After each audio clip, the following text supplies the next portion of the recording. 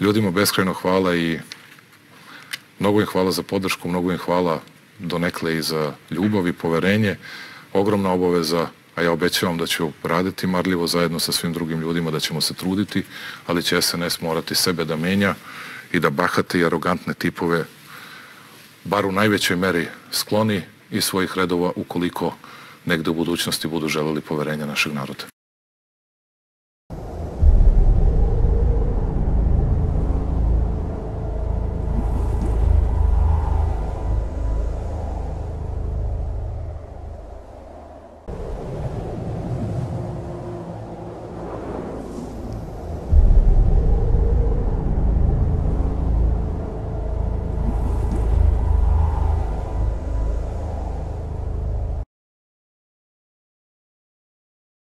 Ali evo, moram Hvala da Bogu da je sada drugačije vrijeme i nadam se da je to daleka Da prošlost. je uh, uh, pokojni Mišo Gnjanović uh, govorio u ovom transkriptu koji ste objavili da Dijana Hrkalović ima dve dijagnoze, psihozu uh, i ne znam šta još, ali do tih informacija se može doći u Požarevcu. S tim da je ona sada u pritvoru. Da li je moguće da tužilaštvo i zapravo sud dođe do tih podataka, to je to može da se uradi s tim da je to ona Da bude osumnjičena i da bude oslobođena. To je na sudstvu, ali sigurno ovako a, govorim iz ugla običnih ljudi, te zločine koji su počinjeni u Ritopeku, to sigurno neko normalan ne može da uradi. To zdrav razum sigurno ne može da uradi. Sada misliš, da li je Tako da Dijana će da znala za tu kuću smrti u Ritu? Kako se stvari odvijaju, očigledno da je znala, ali eto kažem, sudstvo i Evo, tužilaštvo vidjeli je smo tu da izjavu jednog istraže do kraja. policajca gde on, e, Stefanović, koji savršeno dobro zna šta se dešava u Ritopeku, kako se ubijaju ljudi, seku glave, e, u mašini za omojenje mesa, e, e, se oni melju, onda se prave ćevapi, on sve to zna i on kaže, ostavi me s tim, još 15 dana sam ministar. Ovaj kaže, ajde da spasimo makar nekoga da mu ne odseku glavu, da ga ne samelju. On kaže, nek se time bavi sledeći ministar. Ti si čuo to izjavu? Nisam lično čuo, ali smo čitali svašta i to ide u prilog onoj mojoj konstataciji od malo pre da je to stvarno zastrašujuće šta se dešavalo. E, jednostavno, one slike i one snimke koje smo videli, ono uliva strah u kosti svakom normalnom čoveku, ali opet ponavljam, izgleda da se rešio taj problem i ostaje nam samo da se nadamo da u budućnosti, bar skorio, neće imati ništa slično, jer je očigledno taj milje prodrman ovom akcijom koja se desila početkom godine. Evo sada ovo, je, ovo su samo posledice svega toga što se dešavalo. Iskreno verujem da cela ta priča neće baciti ljagu na kompletan MUP, jer tamo ima nekoliko hiljada ljudi i vidimo da su neki očigledno radili pod takvim pritiscima iz vrha MUP-a u tom trenutku odgovorno svoj posao.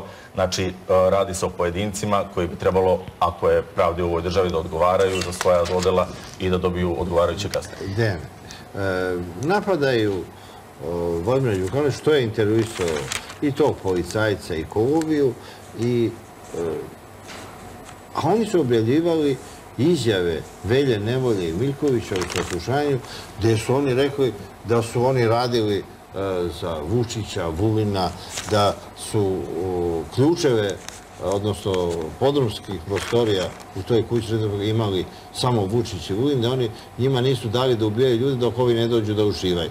Znači oni su to, ako treba protiv vlasti, i to koristili, a ovde ne možemo da saznamo neku informaciju uh, o tim zlikovcima. Da se razumemo, ovde ima svega i svačega. Čega, od ovoga je napravljena politika. O- ovde ima- Rušenje vlasti, preko mafije. E, Ima materijala za dnevnu štampu i za žutu štampu koliko hoćete, jer vidite da o, o kakvim likovima se radi, o obskurnim likovima koji s radnog mesta šalju polugole fotografije i tako dalje. Evo, ovde su Znači, ljudi potvrdili, koji su odlazili često u kabinet u MUP-u Dijane Hrkalović, oni snimci sa tangama, sa halterima su nastali u njenoj kancelariji. I ona je snimila to sama. Ma naravno. I a- slala i kriminalcima ali- i policajcima. Mariću, ali To ovde... krivično delo. I- Ja se... nije krivično delo, samo govorimo E, e, o imaš neka atmosferi. na tu Nego temu? vam pitam, je li to krivično delo? Pošto Ne, ne, za ova kon- krivična dela za koje se ona optužuje i za koje se sumnja da je počinila, uradila, Srpski telegraf piše od januara, boginja mafije, Dijana oslobodila narkodilera, vi ste o tome pričali, dakle, već koliko godinu Evo, dana ima. Nika Ne, Rina, Zašto je ono- ona kraljica mafije, evo vidimo zbog, ovde, e, e, ovaj... Ne, ne, mi ovde se vidi, e, novine koriste te neke e, dodatke, slike. Pa da, ali te da- njene seksi da, gaćice ili- u suštini ne- Ili snimke, ne, ne, ali nikoga. to, to govori o profilu ličnosti, to hoću da kažem. Naravno da to nije nikakav dokazni materijal ni po kom osnovu, ali e, pokazuje kakva osoba je vodila MUP, uslovno rečeno, uz Stefanovića i kada vi sada naslažete sve ove optužbe, prikrivanje dokaza, komunikacija sa tim mafijskim strukturama, koordinacija rada, zaštita određenih ljudi, usmeravanje ka, ka eliminaciji određenih struktura i tako dalje, vi onda zapitate se, čekajte ljudi, ko je sve tu odgovoran? Da li može samo Dijana da bude odgovorna ako sve se to dešavalo u okviru MUPA? I, I ko je onda još odgovoran? A onda kada to sve e, zaokružimo, onda da vidimo da li možemo da spasimo ugled MUPA. Odnosno, moramo da celu tu mrežu koja je radila e, pod ovakvim likovima kao što je Dijana, Ka, mislim, da se razumemo, ovo sve što mi vidimo, ne znam, 5000 evra u sefu, ne znam e, koliko, ka, kako je živela, ne znam, način na koji se pojavljivala u javnosti i tako dalje. A sve ne treba zaboraviti, ona je prošla specijalne obuke i e, bije i tako dalje, bile iz bije došla u MUP. Govorim, koliko je to sve e, kompleksno Završila psihologiju na filozofiju, doktorirala. E, a mi pričamo da je ona psihotična ili kakva je već i tako dalje. A ona završila psihologiju. Mislim, Mariću, i do- to dobro, doktorira i ovaj, kako zove, i Stefanović, doktorirali su Ne, ne, mnogi ali, to ali nije na ubrzano. filozofskom fakultetu. E, pa šteta, ali, ali mogli su i... Dobro, ali, kako neko u policiji nije promijenio? Ona je zvanično promenila u ličnoj karti svoje ime. E, dobila ime Nika Rina. E, Dijana je sebi dala ime po grčkoj boginji pobede Niki, a prezime po Poto, Toto Rini, jednom od najvećih sicilijanskih mafijaša. Udarilo u glavu, to ne Čekaj, znači- to nije ništa sumnjivo nikom bilo. Ništa sumnjivo, sve to ide. Pitaš kako niko nije primetio, kako ni, niko hteo da primeti, hteo da primeti, znači mogli su da su hteli, očigledno je bila Kada je ona to kompletna uradila? hobotnica. Kada je napustila poziciju Ne, kad je smenjena, govorilo se da je e, to urađeno radi njene bezbednosti, I da je zbog ona treba da i- zaboravi da- ko je bila, šta je bila i da je škaljarski klan nju osudio na smrt e, zato što je odavala policijske tajne e, kavačkom klanu, da se stavila na stranu e, jednog od suprostavljenih klanova na balkanskim prostorima i da je se skrivala negde u Izraelu pod lažnim imenom, nije se jedno vreme nije pojavljivala, a onda je ona počela da objavljuje svoje lastivne fotografije. Sjećaš se kad se ona pojavila na društvenim mrežama prošle godine? Rekao sam vam da se nadam da naša stranka nikada neće postati neka od onih kako smo ih mi pogrdno nazivali i izvinjavam im se zbog toga što taj termin danas koristim, ali vi znate o čemu govorim i znate na šta se odnosi. Da ne želim da postanemo jedna od onih žutih stranaka ili demokratskih, kako su se po znacima navoda nazivale, a koje su u stvari postale biznis političke organizacije i koje su to što dođu na vlast lepo iskoristili da svi oni budu bogati, da naprave dobre poslove za sebe, a za narod nikada i ništa. I ja i danas vam kažem, stvar zbog koje nije problem i kada menjamo ljude, jer neki ljudi će se vratiti, neki ljudi će biti mnogo više, neki ljudi će da rade neke druge stvari. Upravo mora da bude u tome da budemo otvoreni, da menjamo sebe, da menjamo stvari i da budemo politička stranka koja će da radi u interesu naroda, u interesu građana, a ne da budemo biznis stranka kao što su neki drugi. I to je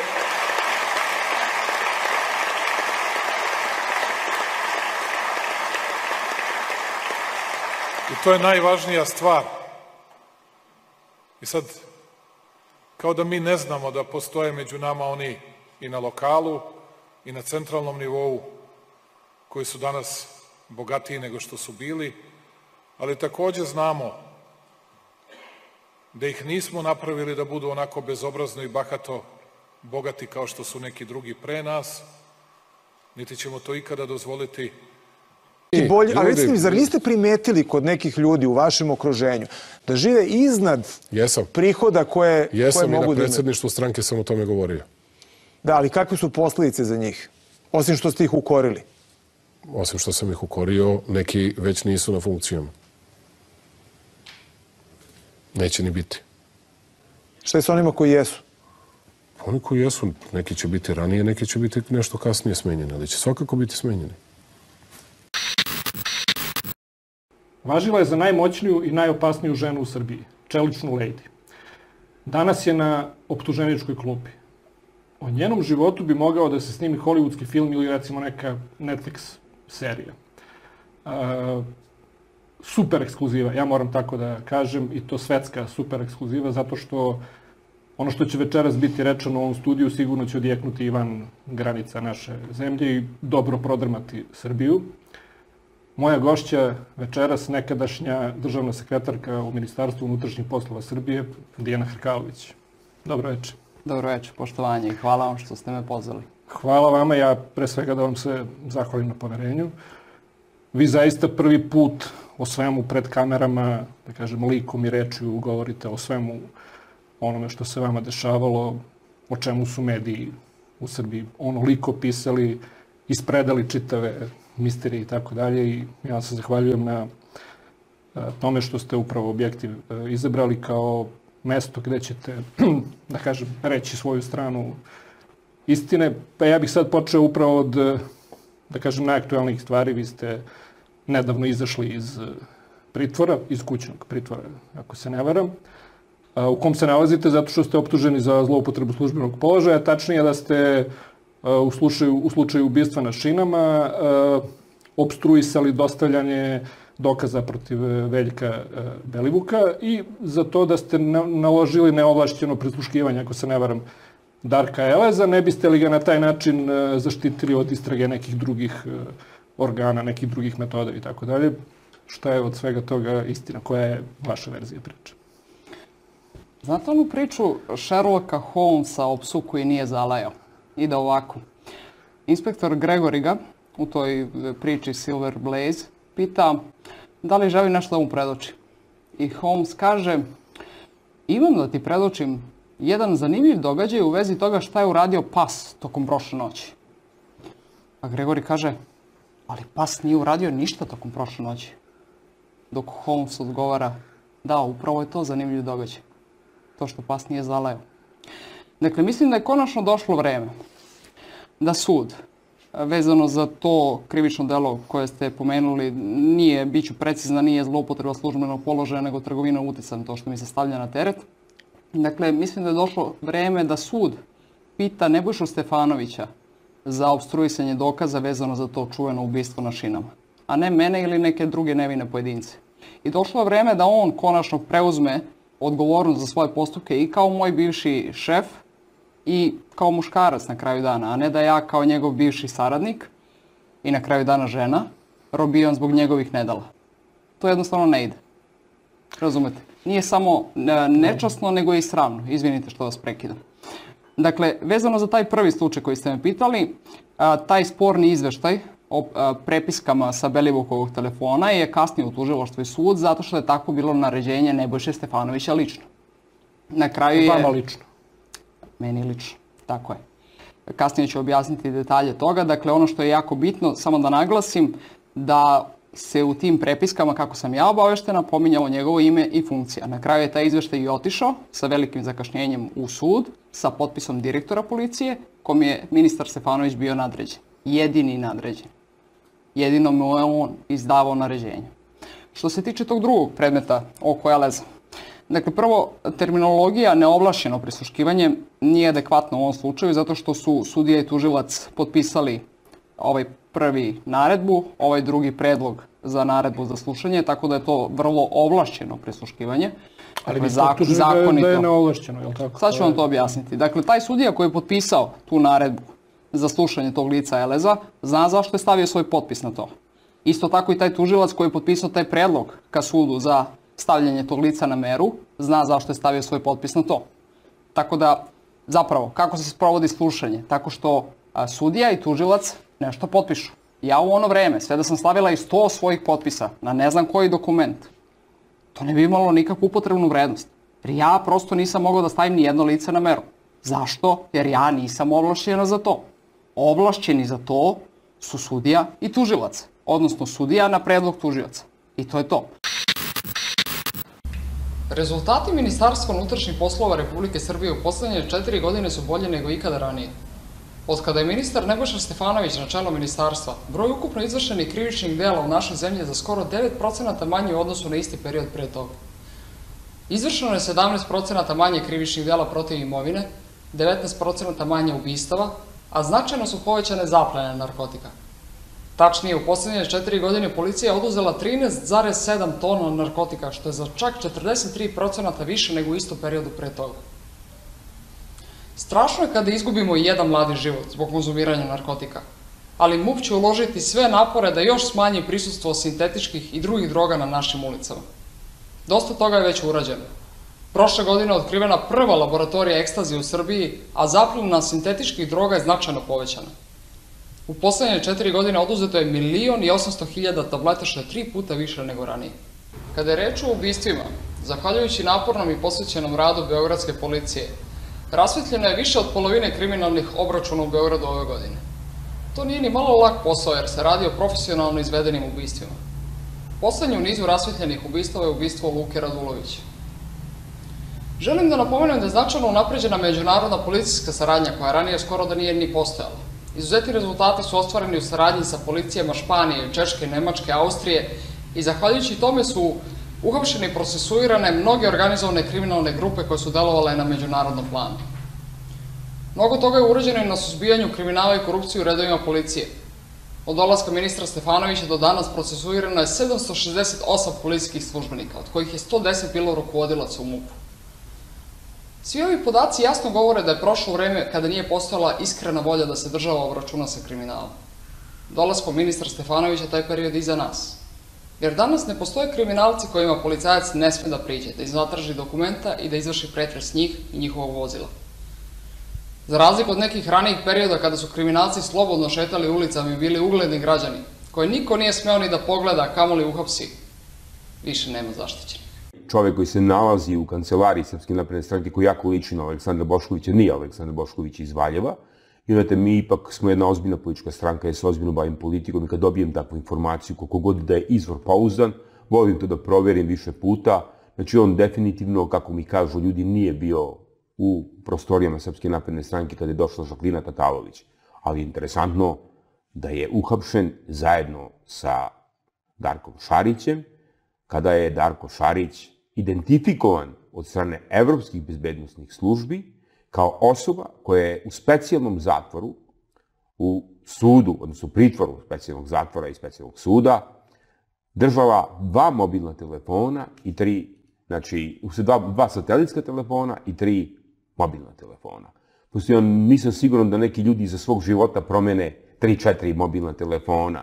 Darko Šarić je po izjavama bezbednostnih službi iz Evrope u pritvoru specijalnog suda za organizovani kriminal raspolagao sa dva satelitska telefona i tri mobilna telefona preko kojih je naručivao ubistva ljudi iz kriminogene sredine i svojih bliskih saradnika.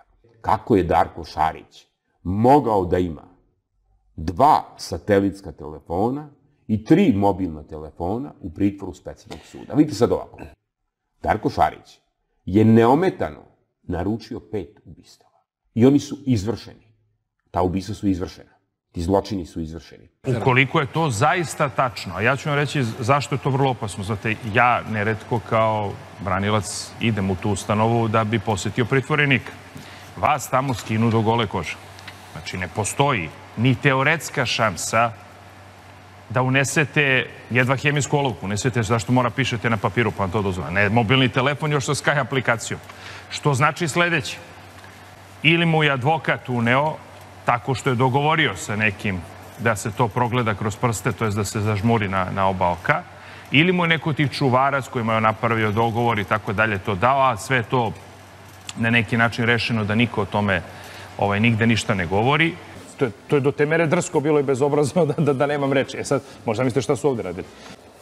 Zaista, ne znam, zgrožen sam, zgranut sam i molim državu da ovo, da, da ovo reši, da da se pohapse oni koji su odgovorni za ovo. Pa mislim i dužni, i, i, i dužni, su, dužni su te strukture koje to rade da izađu na čistac, jer... I to je nemoguće bilo A bez... to niko nema pravo da radi, je li tako? Ma ne to? da nema, ali to nema, ne može da radite bez određenih rukovodećih struktura Mhm. u, u, u, u samom MUP-u. Vrlo me sad... Ako se poštuje red i zakon. Pa naravno. Znači, pa ne, ali ne, ne, možete, mislim, prosto A je vi to... sumnjate na nekog? Pa mislim, nema šta da sumnjam, to je više nego očigledno, ali ajde sada da, da, da ne ulazimo u, u potpune detalje. Poštovanje, dragi gledalci, dobrodošli na Slavi Info TV. Moje ime je Ljubomir Stefanović, a moj današnji gost je Vuk Cvić, novinar, novinar Nina, novinar, slobodno mogu reći, istraživač. Bavite se istraživačkim novinarstvom i pišete o najgorim mogućim aferama iz sveta kriminala. Uče, dobar dan, drago mi ste gosti. Dobar dan, hvala na pozivu. Evo da krenemo od ovoga što je aktualno, to je slučaj Darka Šarića. Kako vi vidite to da je Darko Šarić iz zatvora mogao da naređuje to što drugi mediji tvrde? Pa on je za to osumnjičen. Zvanično je za to za sada osumnjičen da je u zatvoru koristio satelitske telefone i telefone sa onom čuveno već Sky aplikacijom koju su koristili kriminalci širom sveta. U ostalom za tu Sky aplikaciju se e, sumnjiči i Belivukova grupa i glavni dokazi su zapravo Prvi glavni dokazi su dostavljeni u aprilu prošle godine za Sky aplikaciju u slučaju Belivukove grupe. Vidimo da se to sad desilo za Šarića, da su dostavljeni ti kontakti koje on imao iz zatvora preko te Sky aplikacije, izgleda preko tih satelitskih telefona. Za to se sumnjičima da nema objašnjenja e, kako je uopšte to moguće. Zapravo u pitanju je pritvor u specijalnom sudu. To je najbezbedniji pritvor u Srbiji. On je pod strogim merama, savremenim merama, kamere. E, prosto je nemoguće uneti to tek tako. To ne može da bude jedan zatvorski čuvar, ne može da bude smena. To za tako nešto je potrebna ozbiljna logistika. Neko je to morao da odobri da bi zatvorenik takvog tipa, jer u pitanju je čovjek koji je bio optužen i dalje je optužen da je vodio narkokartel, međunarodni narkokartel. Za takvog čoveka da koristi, to liči na Kolumbiju i na ono priče kada je Escobar kupio svoj zatvor.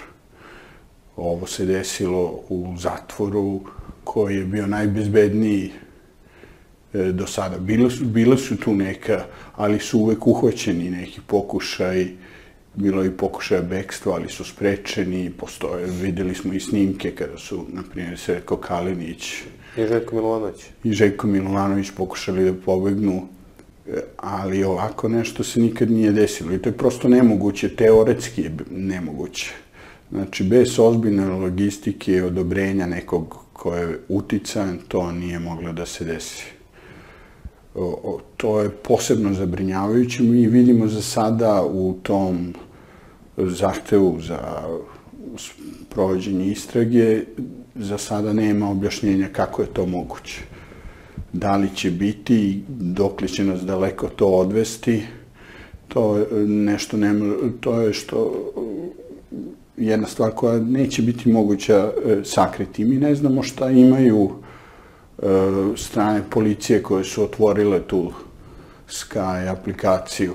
To je počelo sa FBI-em američkim, bila je jedna druga aplikacija koja je bila podmetnuta, pa su onda st- stvorena ova aplikacija Sky, koju su koristili kriminalci, zaplenjen je taj server u, Francuskoj. E,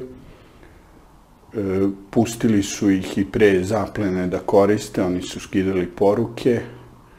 Vidimo da su te poruke sada preko Europola i Eurojusta dostavljene e, našem tužilaštvu koje nije imalo izbora nego da postupi tako.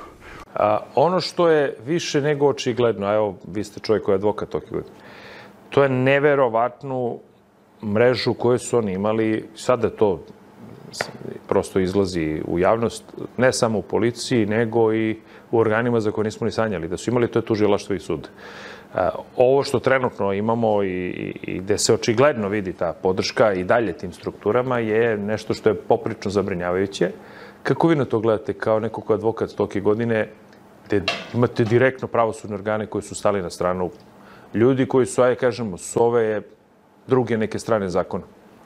Pa se po definiciji, ovaj, nema organizovanog kriminala, a ako ti kriminalci i te bande nemaju blisku saradnju sa tužiocem i sa sudijom.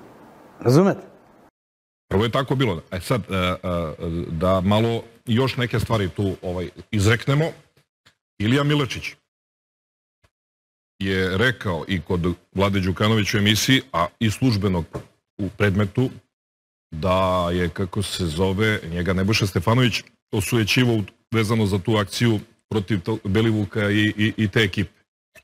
Dakle, sa jednim e, poslednjim objašnjenjem, kad je Nebojša rekao, a to je, ja sam toliko, ne znam, istrpljen i umoran čovjek od svega, nemam ni živaca ni vremena, radite šta god hoćete, ja, i, ja odlazim odavde svog mesta za 20 dana, pa vi vidite sa novim ministrom. I to je bila rečenica koja je ovaj, a, a, a, sprečila akciju protiv Belivuka u tom trenutku. Dakle, ne, ja, oni Midrovi su optuženi za ubistvo na šinama, ima i snimak. Ne, ne, ja pričam nešto drugo vezano za Ritope kuću, gde Ilija Milačić pita kao načelnik e, ovaj, Be, Beogradskog UKP-a da, se... da li da krene u tu akciju, dobija ovaj odgovor od Nebojš. Dakle, on je to rekao i službeno i u TV, u TV intervju. Pričamo ili Milačiću koji je osuđen i presuđen na, sedam meseci kućnog e, pritvora, e, takođe iz, da kažem, relativno sitnog dela u odnosu na, na celu tu priču. Ono što mene zanima kod ove Belivukove grupe, dakle to su ne samo ubistva koja su počinjena, nego me zanima koga su oni sve planirali da ugroze na vrhu države sa možda tendencijom i željom opijeni ovaj, e, sobstvenom slikom o sobstvenoj moći da dođu na vlast. Dakle, ja o tome sad ne mogu da govorim jer nije zvanično pokrenuta istraga oko toga, I mene više Na zanima sumnjaš taj to? aspekt, pa sumnjam da su hteli da, Da neko stoji likvidiraju članove porodice, e, ovaj, ljudi na vrhu države da bi, da bi, kako se zove, dokopali se vlasti, da bi uništili te porodice i da bi, da bi kako se zove... Da li misliš da je neki politički faktor, vlasti? inostranstvo, E, stajao treba- iza te destabilizacije Pa sada- sad- Nemoguće da je neka mafija krenula na vrh države. E sad to treba videti da li su bili opijeni, ovaj, kako se zove, sobstvenom slikom, sobstvenoj, kao što sam ti rekao, nekoj od prethodnih emisija, pa su samostalno donosili odluke, ili se krije možda ovo što ti, o čemu ti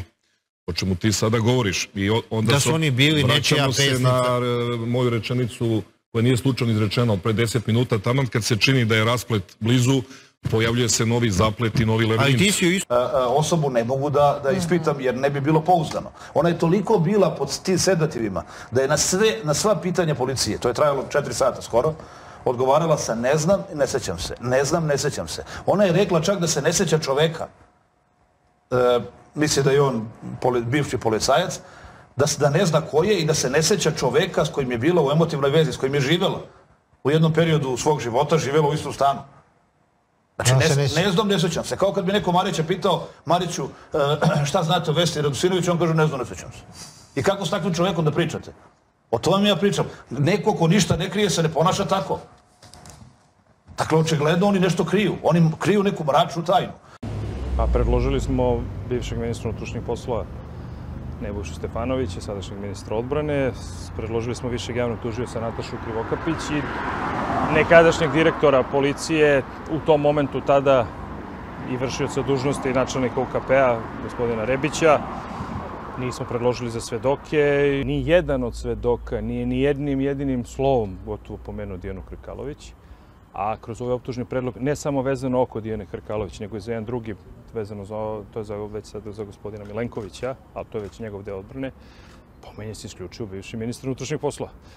A, tako da, Jednostavno on mora da dođe ovde da da neka objašnjenja i mora da izrazim zaista čuđenje, to sam izrazio na sad uvodnoj reči, da sam tužilac ga nije pozvao čak ni kao svedoka. Znači on nije dao ni jednu jedinu izjavu, toliko puta se pominje. Jednostavno bez ovo troje svedoka teško da možemo tu da dođemo da, da saznamo šta je zapravo bila istina. I ako se već po ovoj logici ovo troje ovde nalaze na optuženičkoj klupi, nema nikakve logike da se sam ministar unutrašnjih poslova nije našao tu na optuženičkoj klupi ili makar da je bio pozvan kao svedok. Cela optužnica, odnosno optužni predlog, ja se izvinjam, napisan je na osnovu toga što navodno je Dijana Hrkalović negde nešto usmeno naredila. Niti je ko svedok da je ona ide i što usmeno naredila. Niti je iko to posvedočio, niti je video, niti, niti čuo za tako nešto, kaže eto usmeno naredila. Tako da ovaj, to je samo po sebi neodrživo kao tako i jednostavno jasno vam je da neko želi da možda krivicu za njegova nedela svali na nju. Mi tražimo i suočavanje, ukoliko sud prihvati da Nebojša Stefanović bude svedok, mi tražimo suočavanje Dijane Hrkalović sa Nebojšom Stefanovićem, pa vidjet ćemo se. Lider Srpske radikalne stranke, dr. Vojislav Šešelj, evo ga jutra naš gost. Dobro jutro, dobrodošli.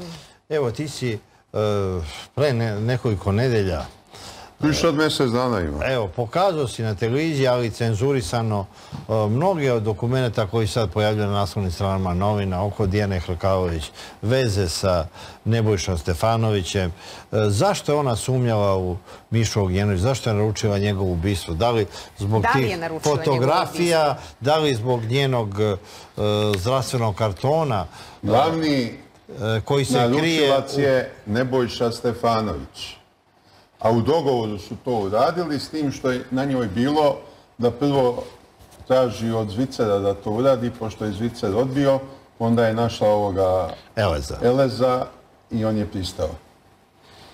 Ja sam namjerno preskočio one delove dokumenta gde su ti lascivni razgovori.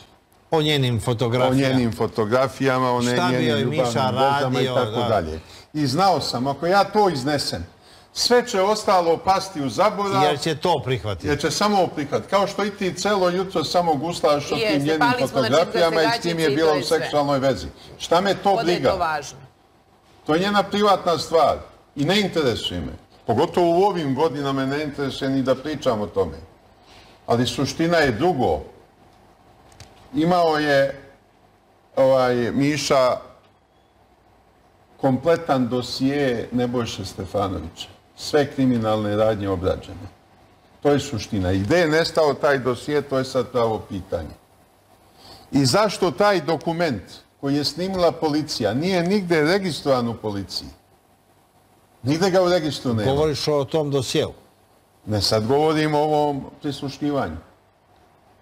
Nema ni dozvole za prisluškivanje, odnosno naloga, i nema teksta prisluškivanja nigde registrovanog u policiji. Ja sam prvi došao do u toga. novinama... Posle ne- mene je došao do toga Srpski telegraf i oni su objavili u celini. I nakon što su oni objavili u celini, počinje rasprava o njenom seksualnom životu. Idemo na sporedan put, idemo na pogrešan put. Ostavimo njen seksualni život njoj samoj. A idemo za konkretnim činjenicama o kriminalnim aktivnostima. To je suština. Ko je kome bio šef? Ona, Stefanović ili Stefanović? Pa ona je 849 puta inteligentnija od Stefanovića. Stefanović je blečak prema ovdje smo mi rekli da je pre nekoliko meseci doktorirala psihologiju na filozofskom... Ja joj nisam čitao Ali svi hvale, doktorat. nje, nje kažu da je jedan najbolji doktorata... Nisam čitao, možda ću jednom prilikom biti u prilici, e, moći da pročitam, ali ona je inteligentna, nema nikakve sumnje. Čekaj, misliš da je ona manipulisala s njim? Pa šta će Da sa je ona blečkom? bila gazdarica? Da. Blečak, potpuni. Šta? Ne zna se leba najesti. Nebojša Stefanović, blečak, kažem, potpuni. Jel imate taj izraz u Ne, ne Valjevu? znam šta znači taj red. Blečak? Da. Pa ono, blentav, pa još ponižavajuće za blentav, nije sasvim blentav, nego blečak. A što ponižavati? Pa zaslužuje kriminalac da bude ponižen na Ali tako ne možemo pričati položaju. o nekome, gospodine Šešelju, da je kriminalac, kada taj neko nije ni procesuiran, čak nije ni pod sumnjom, taj neko Nije je ni naš pod sumnjom. ministar.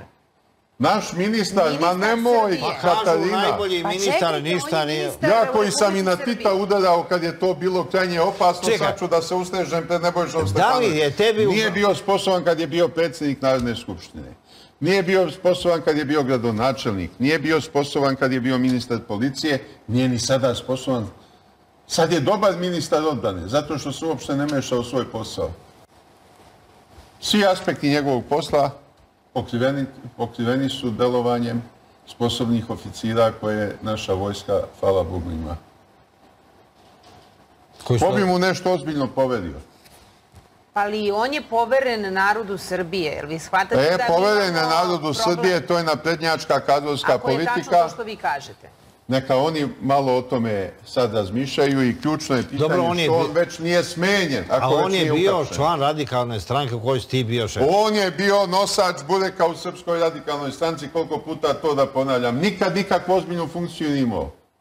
Jesi ti nekad... Formalno ga je Vučić postavio zamjenika generalnog sekretara da može, kad je Vučić na putu, da se javlja na telefon i da mu Vučić izdiktira koje će saopštenje tog dana biti prosleđeno medijima. Jesi ti nekad razgovarao s njim? Nikad u životu je bio u stanci. Nikad? Jesam jednom kad sam tražio od njega da piše tekstove za Veliku Srbiju, on je rekao da on to ne zna i da ne može.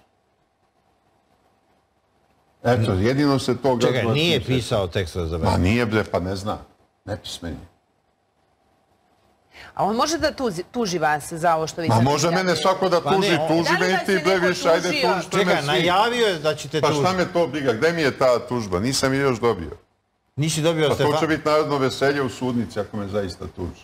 Čekaj, on sme da izađe tebi ovaj, Pa ne na, sme, na crtu, da ona... Pa ne sme, nema, nema tri vijuge u glavi.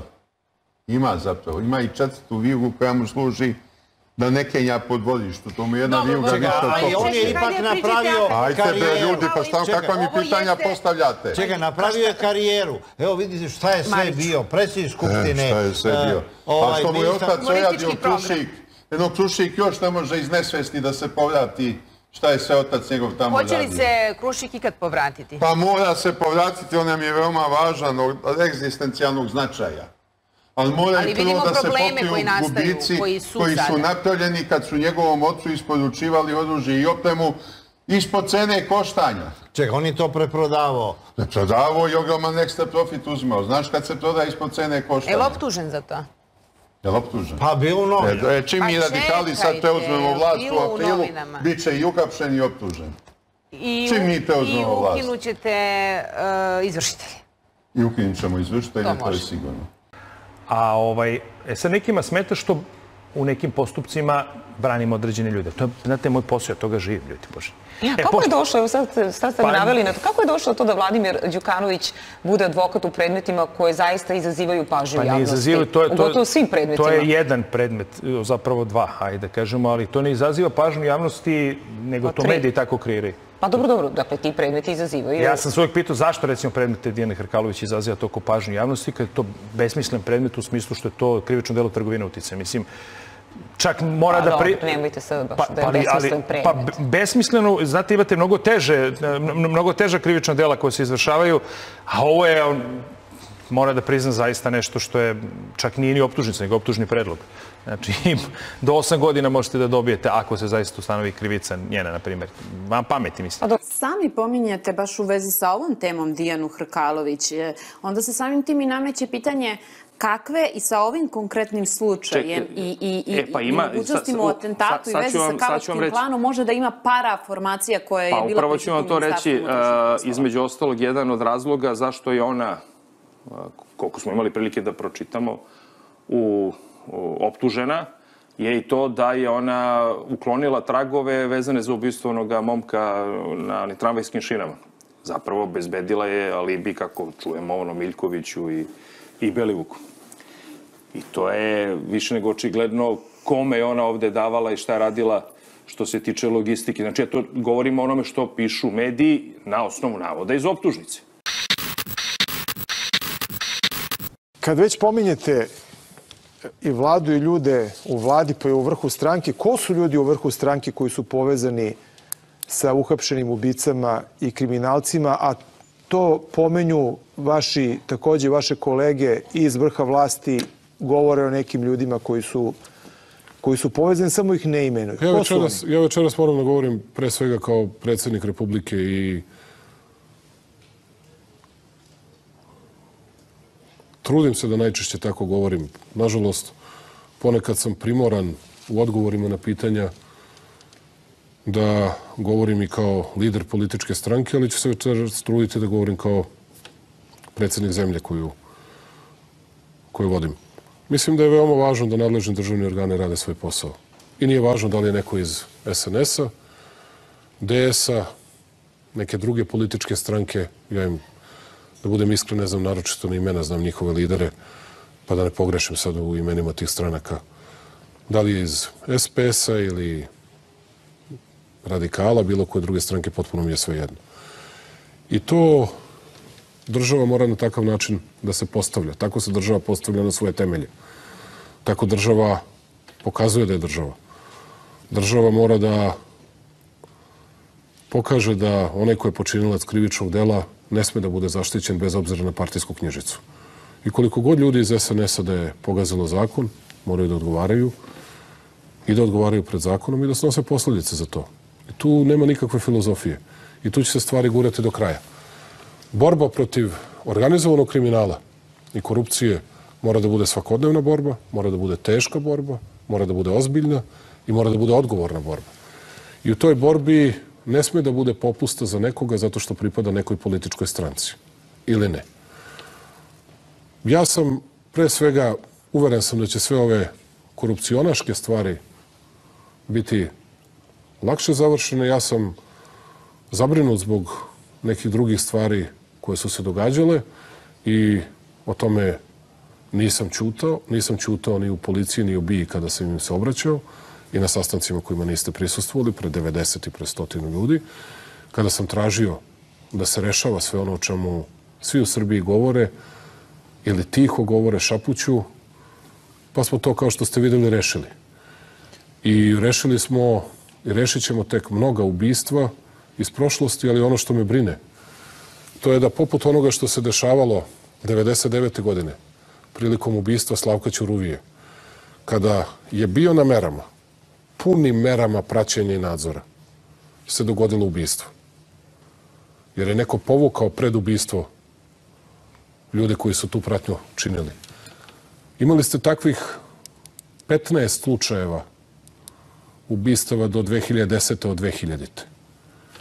Gde su nadležni državni organi pratili određena lica, nekada iz kriminogene sredine, nekada koji nisu pripadali tom, toj sredini direktno, ali su pripadali takozvanom bezbednostnom sektoru, kao što se sećate. Pa su ti ljudi ubijani na sred ulice. Znači da je neko iz vrha vlasti, iz vrha, nije to politički vrh vlasti, ne optužujem nikoga na taj način, ali neko iz vrha vlasti izvršne vlasti je pomagao kriminalcima u lociranju i izvršenju ubistva. Ako ničim drugim, onda svojim nečinjenjem. Zašto sam ovo sve ispričao? Zato što i u poslednjih nekoliko godina imamo najmanje tri slučaja ubistava, dvojice lica direktno iz kriminogene sredine i jednog od lica koje je bilo advokat takvim licima, A sva ta tri lica bila su na merama. I to punim merama. Ali to je sada iz vrha vaše vlasti. Upravo o tome govorim. I kao što vidite, ja o tome otvoreno narodu govorim. Da, ali, ali ne govorite imena. A kada vaši kolegi iz stranke, kada govore o ljudima iz vrha stranke, iz vrha vlasti, imam utisak da oni znaju tačno o kome se radi. Sad mi recite da li se Nije vara. moje da imam utisak. Ja imam utisak jer ne znam, ali vi morate da pričali- znate. Ne, ne, oni su pričali o nečemu drugom. Oni su pričali o prisluškivanju, a ne o ovome o čemu ja govorim. Što se tiče ovoga o čemu ja govorim, o tome do sada vam niko nije pričao. Želeo sam da vam dam tu informaciju da ni po tom pitanju neće biti zaštićenih. Jer nije normalno da vi pratite nekog čoveka, a da se pravite da ne vidite da treće vozilo prati to lice. Mislite da će da prođe nekažnjeno? Neće. A sad ćete da vidite da ćete svi da budete pohapšeni, a to tek počinje. Koliko je duboko to ušlo u vlast? Po onome što sad znate. Ja ne mogu da vam to govorim na taj način zato što bih time preuzeo na sebe istragu. Ja vam govorim o veoma pouzdanim saznanjima i o nečemu za što imamo dokaze u ovom trenutku. Dakle, imamo li dokaze da su određena lica praćena? Imamo. Imamo li dokaze da su ta lica ubijena? Imamo. Šta vam treba više? Izvinite, kako to? Samo da znam s kim su povezani u vlasti, eto to pitam. Pa to su vam lica iz izvršne vlasti, svakako. To su vam lica direktno iz izvršne Govorite vlasti. o ljudima koji su u policiji, koji su u nekim Sasvim drugim izvesno. službama. Ja sam pitao za ljude koji su u politici. To je već druga stvar. Ja ne, ne želim da verujem da je neko iz politike u tako nečem učestvovao. Ja za to nemam nikakve pokazatelje. To znači, ako vas pitam vrlo konkretno, da li je Nebojša Stefanović častan ministar i čovjek od vašeg velikog poverenja ili neko ko je povezan sa tim svetom, budući da se takva klima stvarala posljednjih dana, šta ćete reći? U ovakve stvari o kojima sam sada govorio, niti bih pomislio, niti mislim da je on uvezan u to. Da budem sasvim iskren. Imao, imam i zamerio sam mu mnogo toga, kao što pamtim izuzetne stvari koje je uradio i nisam od onih ljudi koji smatra da je bezgrešan pa da drugim ljudima greške ne praštam, a za ovo nisam ni pomislio ni jednog trenutka na Nebojšu Stefanovića, ali na neke druge ljude jesam, koji su veoma visoko pozicionirani. Znači, tu sad govorite o tom brutalnom kriminalu, ne govorite Ako o govorim o korupciji. organizovanom kriminalu, ovde ne govorim pre svega o prisluškivanju i o nekim drugim stvarima, što je bio u svakom slučaju Nebojšin posao da zna. Znači, zamerate Dakle, mu da govorim- nije znao ili mu zamerate njemu da vam nije rekao? Ja njemu zameram pre svega na objektivnoj odgovornosti. I to sam mu rekao više puta u lici. To nije tajna. Ali niko neće biti zaštićen ukoliko učestvuje u bilo kakvim kriminalnim radnjama. Za ovo nisam pomislio ni jednog sekunda na njega. Znam ja dobro na koga sam mislio i znaju svi oni na koga sam ja mislio. Ali nećete to reći. Ne, i znaju oni ko je uvezan sa tim ljudima i znaju čak i o kojim ubistvima je reč. Prosto, to su stvari koje... Sve ovo drugo.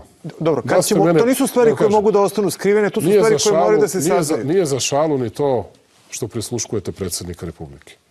Na kraju krajeva, time možete da ugrozite moju bezbednost, da pokažete da želite da provedete državni udar, da trgujete sa nekim stranim službama da biste nekoga srušili sa vlasti, da vam to služi za ucenu. Svakako su nečesni motivi iza toga. Ali, to je sitnica. To je bukvalno sitnica u odnosu na to da neki ljudi budu ubijeni. Uz to da mi kao država nismo preduzeli svoje mere da bez obzira na to da li su ti ljudi iz sveta kriminala ili ne budu zaštićeni. Od ubistva. Ne od istraga, već od ubistva.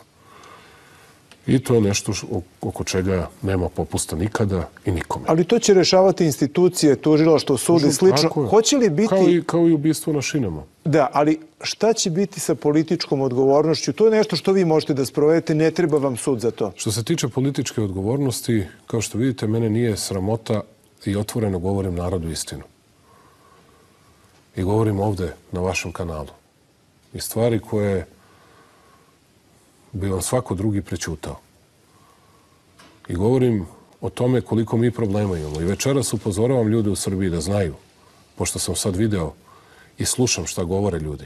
Pa nama je rečeno da mi to nosimo a, našim protivnicima koje treba se pomognu, da to nosimo za stranku. Nemoj, molim vas, niko da daje za našu stranku pare. To molim ljude. Nemoj da vas lažu. Ti koji vam to kažu su kriminalci i lažu vas. Da li je pritisak na tužilaštvo pitati da posle tri godine Tako je, imamo mi pravo kao nemamo epilog? Jedne Pa, strašne je afere. zaista, tu po meni je to zaista nezmišljeno. Ima tu mnogo otvornih pitanja. I ko je omogućavao Belivuku i Miljkoviću kada budu za- zaustavljeni od interventne patrole da budu isto trenutka pušteni? Da, I da im se vraća oru, da im se... Tako, ko je, ko je bio omogućio ovome pokojnom Stankoviću da odlaže Dijane robiju, ne znam Hrkalović. ja koliko i koliko godina je odlagao robiju, jer je, ne znam, navodno imao da zdravstvene probleme i tako dalje. Da. Ima tu mnogo problema. Ona kaže da nije. E pa, tu ima mnogo problema koji su evidentirani i to sve nije. mora zaista se raščisti. Ja se iskreno nadam da će sledeći ministar unutrašnjih poslova koji dođe da seče kao mač. Jer je došlo krajnje vreme.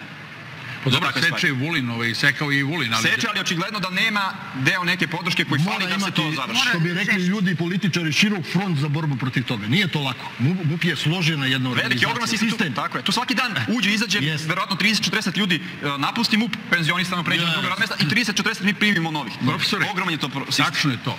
Ali ova prijava koju je e, MUP uradio, on je dao nekom tužiocu. Stoji Pa, tužilac, ima svoje ime i prezime, Nadam se da, će, da, da, da ćemo dobiti odgovor ko je taj tužilac, kod koga to stoji. U fioci ili na radnom stolu i šta se postupa po tome, da li se uopšte postupa, da li je ona odbačena, možda i odbačena. Mi ne znam, nemamo zaista nikakvu Za informaciju. onoliko oružje, iz tužilaštva o ljudi, neko mora da odgovara. Ono je oružje namenjeno za, teror, za izvođenje terorističkih akata. Šta će tebi puško mitraljezu 12,7 mm u Beogradu? Raketni bacač protivoklopni. Najsavremenije snajperske puške. Tako je. Ljudi bre, to mora Moje da mišljenje je da da, je neko bar, da je bar odgovor. nekom od tih opasnih komada oružja. Pogotovo naročito snajperima. Znate, snajper ne možete sad izaći na ulicu i da kupite tek tako. Snajperske puške, pogotovo koje su oni imali, se ili kradu iz uh, specijalnih magacina u svetu, a tu svaki, kada, kada ja, ja sam povezan, li- linkovan sam na mnogi od tih izveštaja, kad god se obije neki uh, magacin, a to se dešava specijalnih jedinica, bilo da je u svetu, to se objavi. Ukrademo 10 tih, tih pušaka, ti, ti serijski broj, obratite pažnju. Dakle, taj snajper sigurno ima poternicu. I mi možemo, pa, ako se potrudi neko, mi možemo da da napravimo put. Da li je on ukraden iz nekog magacina specijalne jedinice ili ga je neko e, dao namenski klanu Belivuk Miljković da uradi to što je trebao da uradi, odnosno da ubije, da ubije predsjednika države. I ti puško mitraljezi i sve to, to se, ne možete to kupiti tako lako kao što možete kupiti pištolj. 12,7 mm, to se kači To su mnogo specifična oružja. Pogotovo taj snajper, ja se uporno vežem za njega. On je najnovije proizvodnje, on je najnoviji model. On je stavio magacinu, komada tako je, gde je, bio najzaštićeniji. Da. To nije ostatak ratova na Balkanu. Ma od kad pre nema 30 veze, godina. mi imamo one 7-9. I koji je obučavao osobu koja, 7-9. koja bi njom upravljala, ne može Pa to je otkriven je taj bivši pripadnik specijalnih jedinica, zna se njegovo ime i prezime koji je njih krenuo da, krenuo da obučava. Ali ja opet apelujem, nisam zadovoljan trenutnim odgovorima. Sve rata imaš svuda u svetu. Mene zanima ko je bio kapo di tuti. Očigledno Belivko i Miljković nisu bili glavni. Jer prilikom njihovog hapšenja mi nismo našli velike količine novca. Nismo našli ni velike količine droge. Ali doktor, vi, ovaj, ovo je sad jedan kriminalni deo o, o kome pričamo, Belivuk i to, i sasvim sigurno da su oni bili deo neke grupe, da su oni nečiji vojnici bili. Apsolutno. Ali ovo prisluškivanje, a da li je verovatno da je, da je Belivuku i njegovim šefovima trebalo ovaj, transkript razgovora predsjednika ili se radi o nekim službama kojima predsjednik Vučić nije po volji? Ne bih vezivao prisluškivanje predsjednika za Belivuka i za tu Naravno. grupu. Oni su uličari, to su ljudi koji su bili obavljali sasvim jedan drugi deo posla. Drugi deo te iste mafijaške hobotnice je prisluškivao predsjednika e, i samo je potrebno utvrditi koja je bila krajnja namera. Da. E, A kada govorimo, evo, pomenuo je i gospodin Popović slučaj Dijene Hrkalović. Da, Šta tu očekujete u, u dalje? Vidite, ja očekujem da, ja sam prvo očekivao da će ta ovaj, e, gospođica biti u zatvoru prvo. I dalje. To sam očekivao. Ona mora da objasni mnoge stvari. Ne može ona da kaže ja ništa ne znam, sve je radio Nebojša Stefanović. Hoćemo To da se to ona je gostovala kod Milomira Marića i to Pa je bilo dobro. jedno jedino pojavljivanje u medijima. Milomir Marić je novinar i ima pravo da razgovara sa svakim, da priča, on je novinar. Ja ne mogu da se vežem za te stvari. Životić i ja moramo ozbiljno da pričamo o tome. Mlađa je takođe novinar, njegovo je, može i sa, i sa pokojnim Bin Ladenom da priča, da, da mu je to zapalo, to je nešto najnormalnije i tako dalje. Ali Dijana Hrkalović, kao državni sekretar Ministarstva unutrašnjih poslova, sa onoliko malo godina života, neiskustva u policijskom radu, neznanja i tako dalje, ona mora, ne može da kaže ja ne znam, to je radio Neša. Sve je ona to da znala i sve je ona, ona je bila deo tog sistema. Hoćemo da ona je deo bila sistema. Da. Kod nje je pronađeno nekoliko lažnih pasoša, ličnih karata i tako dalje i tako dalje. To što priča, ona, ona je stvorila Saleta Mutavog, Sale Mutav je zapalio kavčane za 5 kg kokaina i dobio je po glavi. A Dijana Hrkalović je bila deo te priče i postavila je ovoga maloga Bjelivuka da nasledi Saleta Mutavog. Gledamo To gostovanje živa Hrkalović. Gledamo e, gostovanje Dijene Hrkalović kod Milomira Marića. si ti Stefanoviću prisluškivao Vučića ili je možda Vučić prisluškivao tebe? Evo, samo to.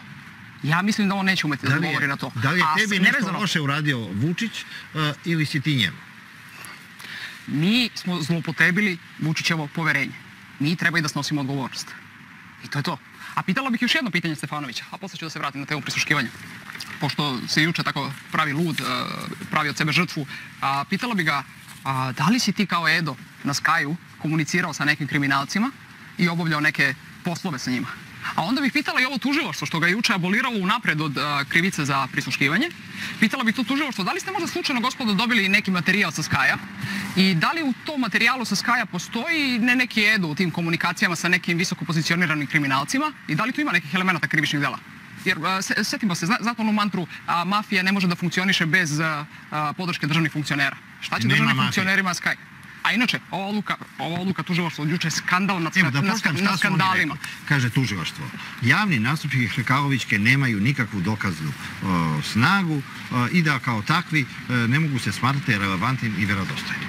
Oni Kako moraju, si ti to oni moraju, to je jedino zakonito. Oni moraju da provere saznanja koja da neko ima o nekom krivičnom... laži rekao, a oni bi morali da provere. Oni moraju da provere po zakonu, moraju da pošalju zahtev za prikupljanje potrebnih obaveštenja i da me saslušaju, a onda da pokrenu postupak protiv Stefanovića, pa da onda utvrđuju činjenice i sve ostale okolnosti. Odbila. E, da, pogledali smo Znam, i ja prilog. šta me pitao. E, Da, šta, kako bi prokomentarisali ovaj, ovo izlaganje? Ovo je ipak medijsko izlaganje. Pa možda da očekujemo Stefanovića da se pojavi Da, ovdje u pa nekom mi smo to i doglednom periodu. očekivali, Pošto je, kako vidimo, da evo, niko živi ne odgovara, da je posle strašnih afera, posle krvavih ubistava, posle trgovine og- ogromnih količina narkoticima, evo niko živi nije odgovarao. Čak ona dva policajca koji su prvo kapšeni kao izdanici, onaj, kako su nešto stalno sakrio, one, neke dokaze, evo jedan oslobođen, drugi, Stolić ili drugi? Da, ovi ne, što su imali drugi su. ovaj drugi, ovaj, par mjeseci ovdje na nogice nikom ništa. Nemoj da se, da se igramo više, se zove ovo igranje sa državom, krajnje ozbiljno igranje sa sistemom, provociranje kriminala, novo provociranje da, provociranje da se kriminal razmaša, da dobije takve razmere kakve je dobio do sada. Red je stvarno da neko reaguje. Kakve crne zove argumenti, kakva priča postoje, stotine policajaca koji se drže šta se dešavalo u policiji, šta je radila i Krkalović i Stefanović, koje su sve... I koji su pošteni policajci. Znači kako su pošteni policajci uništavani, kako su im karijere, znači bukvalno razarane, kako su hapšeni, neki od njih su, znamo, i preminuli, ko će da to da odgovara? Ćemo da gledamo posle ponovo, umjesto da, se, da neko bude na sudu, da ga gledamo po intervjuima, po televiziji, da se peru. Ko je sledeći, znači, posle Dijeni Kralović na intervju? To je cela poenta. Znači, uh, da li je to zapalo tužilaštvo, da li je zapalo u policiji, to sad ne znam. Ako, ovaj, očigledno, ako kaže ministar policije da je odne dokaze u tužilaštvo, tužilaštvo uh, ćuti, uh, vjerojatno mora da pokrene, znači, personalni neki argument, kako da kažem. Da kaže, dao sam tom i tom, te i te spise. Taj, taj ćuti. Kažemo tužilaštvo, to je ipak uh, paušalna, znači, ovaj, optužba, Pa ne, kvalifikacija. zato sam i da rekao, bude pitao profesora, da li se 150 daje čoveku, jednom- da jednom čoveku se dao predmet. I da neko pita tamo glavnog tužioca, da pitaju, majstore, jel ti dobio ovo, nisi ipak su dobio nešto, nešto radio. Ti, Nikad nismo dobili odgovor kod kog je to tužilac. Mi ne znamo koji tužilac postupa po tom predmetu i da li uopšte, da li uopšte Može li, Ali ne oglašava se i glavni Može li, tužilac. profesore, odbor za bezbednost u Skupštini Srbije našao je da pokrene to pitanje? Može da pokrene, Kao naravno. organ koji kontroliše rad službi Može, bezbednosti vid- vidjet ćemo koji sad voditi u sledećem sazivu. da. Može, naravno da može. Meni je stvarno, kao nekome koji studirao u Ministarstvu unutrašnjih poslova, kao klinac završio višu školu Ministarstva unutrašnjih poslova, gde su nama predavali časni policajci, gde sam ja stekao stvarno neku predstavu u MUP-u kao nečemu, nekoj instituciji gde su plate niske, ali je čast Raditi tamo. I meni je stvarno ova medijska TV, TV novela između bivših ovih uh, rukovodioca MUP-a gadna. Verujte mi, odvratno mi je to da gledam. To prlja uh, ugled poštenih policajaca kojih je 99,90%, koji da, evo sad dok mi ovdje raspravljamo o tome čuče u nekoj zasedi, prate nekog drugog Belivuka i Miljkovića i razmišljaju da li će da ga neko torbu, da. ili neće stavljaju glavu u, to, glavu u torbu. Moje mišljenje je da nikom od ovih koji se vrte po novinama, koji u medijima, tih bivših rukovodioca MUP-a nije mesto u medijima. Vi trebate kao mediji da zovete policajce koji hapse, koji pritvaraju ozbiljne kriminalce, koji su danas zaplenili 5 kg kokaina, juče kilogram i po kokaina, koji spašavaju živote od klinaca koji ko hoće da se ubiju, skoče sa mosta. Ti policajci, ti policajci heroji treba da budu u medijima, a ne ovi koji su se obogatili dok su bili na funkcijama i sada prebacuju krivicu jedan na, je- jedan na druga. Mislim da je to za mene, to je za mene debutantno i ja bih stao tome na kraj i očekujem od suda da konačno kaže ko je kriv. I ne interesuje me ko štiti Dijanu Krkalovića. Stvarno, ja stvarno ne mogu da verujem da, da se neko plaši. Dakle, vi imate Aleksandra Vučića koji je time uplaše. Ali imate političari iz opozicije koji se plaši i kažu pa neće ti to dozvoliti. Ma ko pita ko će da mi dozvoli ili ne. Znači imam ustav i zakon koji mora da poštujem. Ja govorim evo ovako. Dakle, dajem obećanje. I mogu da ga dam samo iz bezbednostnog sektora. Onog trenutka kada bi se Milan Dumanović, kada bi ponovo bio u bezbednostnom sektoru, Aleksandar Vučić više ne bude bio na vlasti, Dijana Krkalović bi završila u zatvoru tog dana. Pod kojim optužbama? Pod optužbama za, orga, za pripadništvo sa izvršilaštvo u organizovanoj kriminalnoj grupi koja je radila otmice i teško ubistvo. Ta kazna ide od 20 do 40 godina zatvora. Koji je nivo njene umešanosti? Potpuni. E, Dijana Krekalović je uticala da se ova grupa stvori i sve ono što je radila, dakle ona je oslobodila Veljka Belivuka i Marka Miljkovića ubistva ovaj, na šinama u, u Beogradu, u centru grada. Ona. Ona direktno. Imate dokaze? E, imam svedočenja, pa preko 50 policajaca, ovaj, da je ona naređivala da se unište dokazi. Kao što imate, vi imate i za Sava Malo, ako se sjećate da je gospodin e, Stamenković, čini mi se, na sebe prihvatio odgovornost za Sava Malu, pa nije on mogao ovaj, da spreči... Ovaj, Komandir smene bio. Komandir smene, tako je. Dakle, tako i ovaj policajac prihvatio da je on nenamerno uništio dokaze. Kako su se baš za to ubistvo ovaj, uništili dokaze, kako ne za neko drugo. Dakle, a, a mi znamo, dakle, Dijana Krkalović u tom trenutku bila broj jedan u UKP-u, dakle, jedini koji je mogao, koja je jedina koja je mogla da to uništi bila je ona. Pa, ja da sam Dijana Hrkalović i da sam u toj poziciji, ja bih tihovao. Dakle, na slobodi sam, ne bih, što kaže narod, čačkao mečku, povukao bih se, blokirao svoje naloge i tako dalje. Međutim, ona kao da ima neki drugi zadatak, kao da, da želi još nešto više, čim bode oči, svako njeno pojavljenje je zapravo izazov ovoj drugoj strani ko, kojoj kaže evo ja sam na slobodi, ako listate društvene mreže, tu su oduševljanja, evo vidi kako je ona jaka, vidi kako je hrabra, vidi kako je lepa, vidi kako je odlučna i tako dalje. Dakle, ona faktički dobija i neku, neku pažnju javnosti kojoj po zaslugama ne pripada realno. Mislim, to ženi koja ste... radi u bezbednostnom sektoru postaje faktički estradna zvezda. To je apsolutno pravo pitanje koje ste postavili, to je zato što ste vi normalan čovek. Ali ako biste znali, Relativ. ako biste znali priče i, i, i potvrđene ovaj, ovaj, stvari o Dijane Krkalovi, šta je ona radila, kada je tek došla u Ministarstvo unutrašnjih poslova, dakle kao jedna izuzetno mlada osoba, ona je mislim 87 ili 8 godište, dakle sa 26 ili 7 godina, kada je ona sebi dopuštala sa toliko godina da psuje, dakle da se izrazimo ovaj, uh, srpskim jezikom, psuje ljude od 50 godina, načelnike nekih policijskih uprava. Evo i po Vojvodini. Šta vi mislite šta je ona onda u svojoj glavi doživjela i, i, i kako, kakvu je ona u sebi osjećala moć 2019. godine, na primjer, ili 2017. 18. Mm -hmm.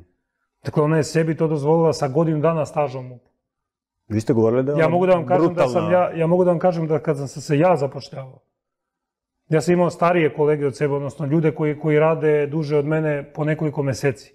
Mlađi su bili od mene po nekoliko godina. Ja nisam hteo da sednem na, na, na stolicu dok ne pitam nekog od njih da neko drugi neće da sedne. To je razlika između čoveka koji završi višu školu unutrašnjih poslova i koji ima osnovno mm. vaspitanje iz kuće i, i, i bandita u, u telu jedne lepe mlade žene kao što je Dina Grkala. Ali ona je visoko obrazovana, ona je, kažu da je jako talentovana za psihološku obradu bilo kriminalaca, bilo svojih, bilo svojih saradnika, a vi ukazujete i na, njego, na njeno brutalno ponašanje. Koliko je psihološki obrazovana, pokazuje da mene nije mogla da u jednom telefonskom razgovoru natera ni, da, ni na sastanak. Da me pozvala i, i, i možda pozvala na drugačiji način na sastanak, možda bi ja kao muškarac i prihvatio. A pošto me pozvala sa takvim tonom i pogotovo sa tim neznanjem, kada mi je rekla da je, da citiram, da je ona meni nadređena, što nikada nije bila, ovaj, onda sam ja naravno odbio. Tako da i to njeno, ovaj, možda je ona od nekog drugog psihološki ovaj, ili, ili, ili da kažem, ajde, obrazovanija, ali ja mislim da nije nijedno to od toga. Ovaj, ona po godinama i pre svega po nedostatku iskustva, ona nikada nije smela da se nađe na tom mestu.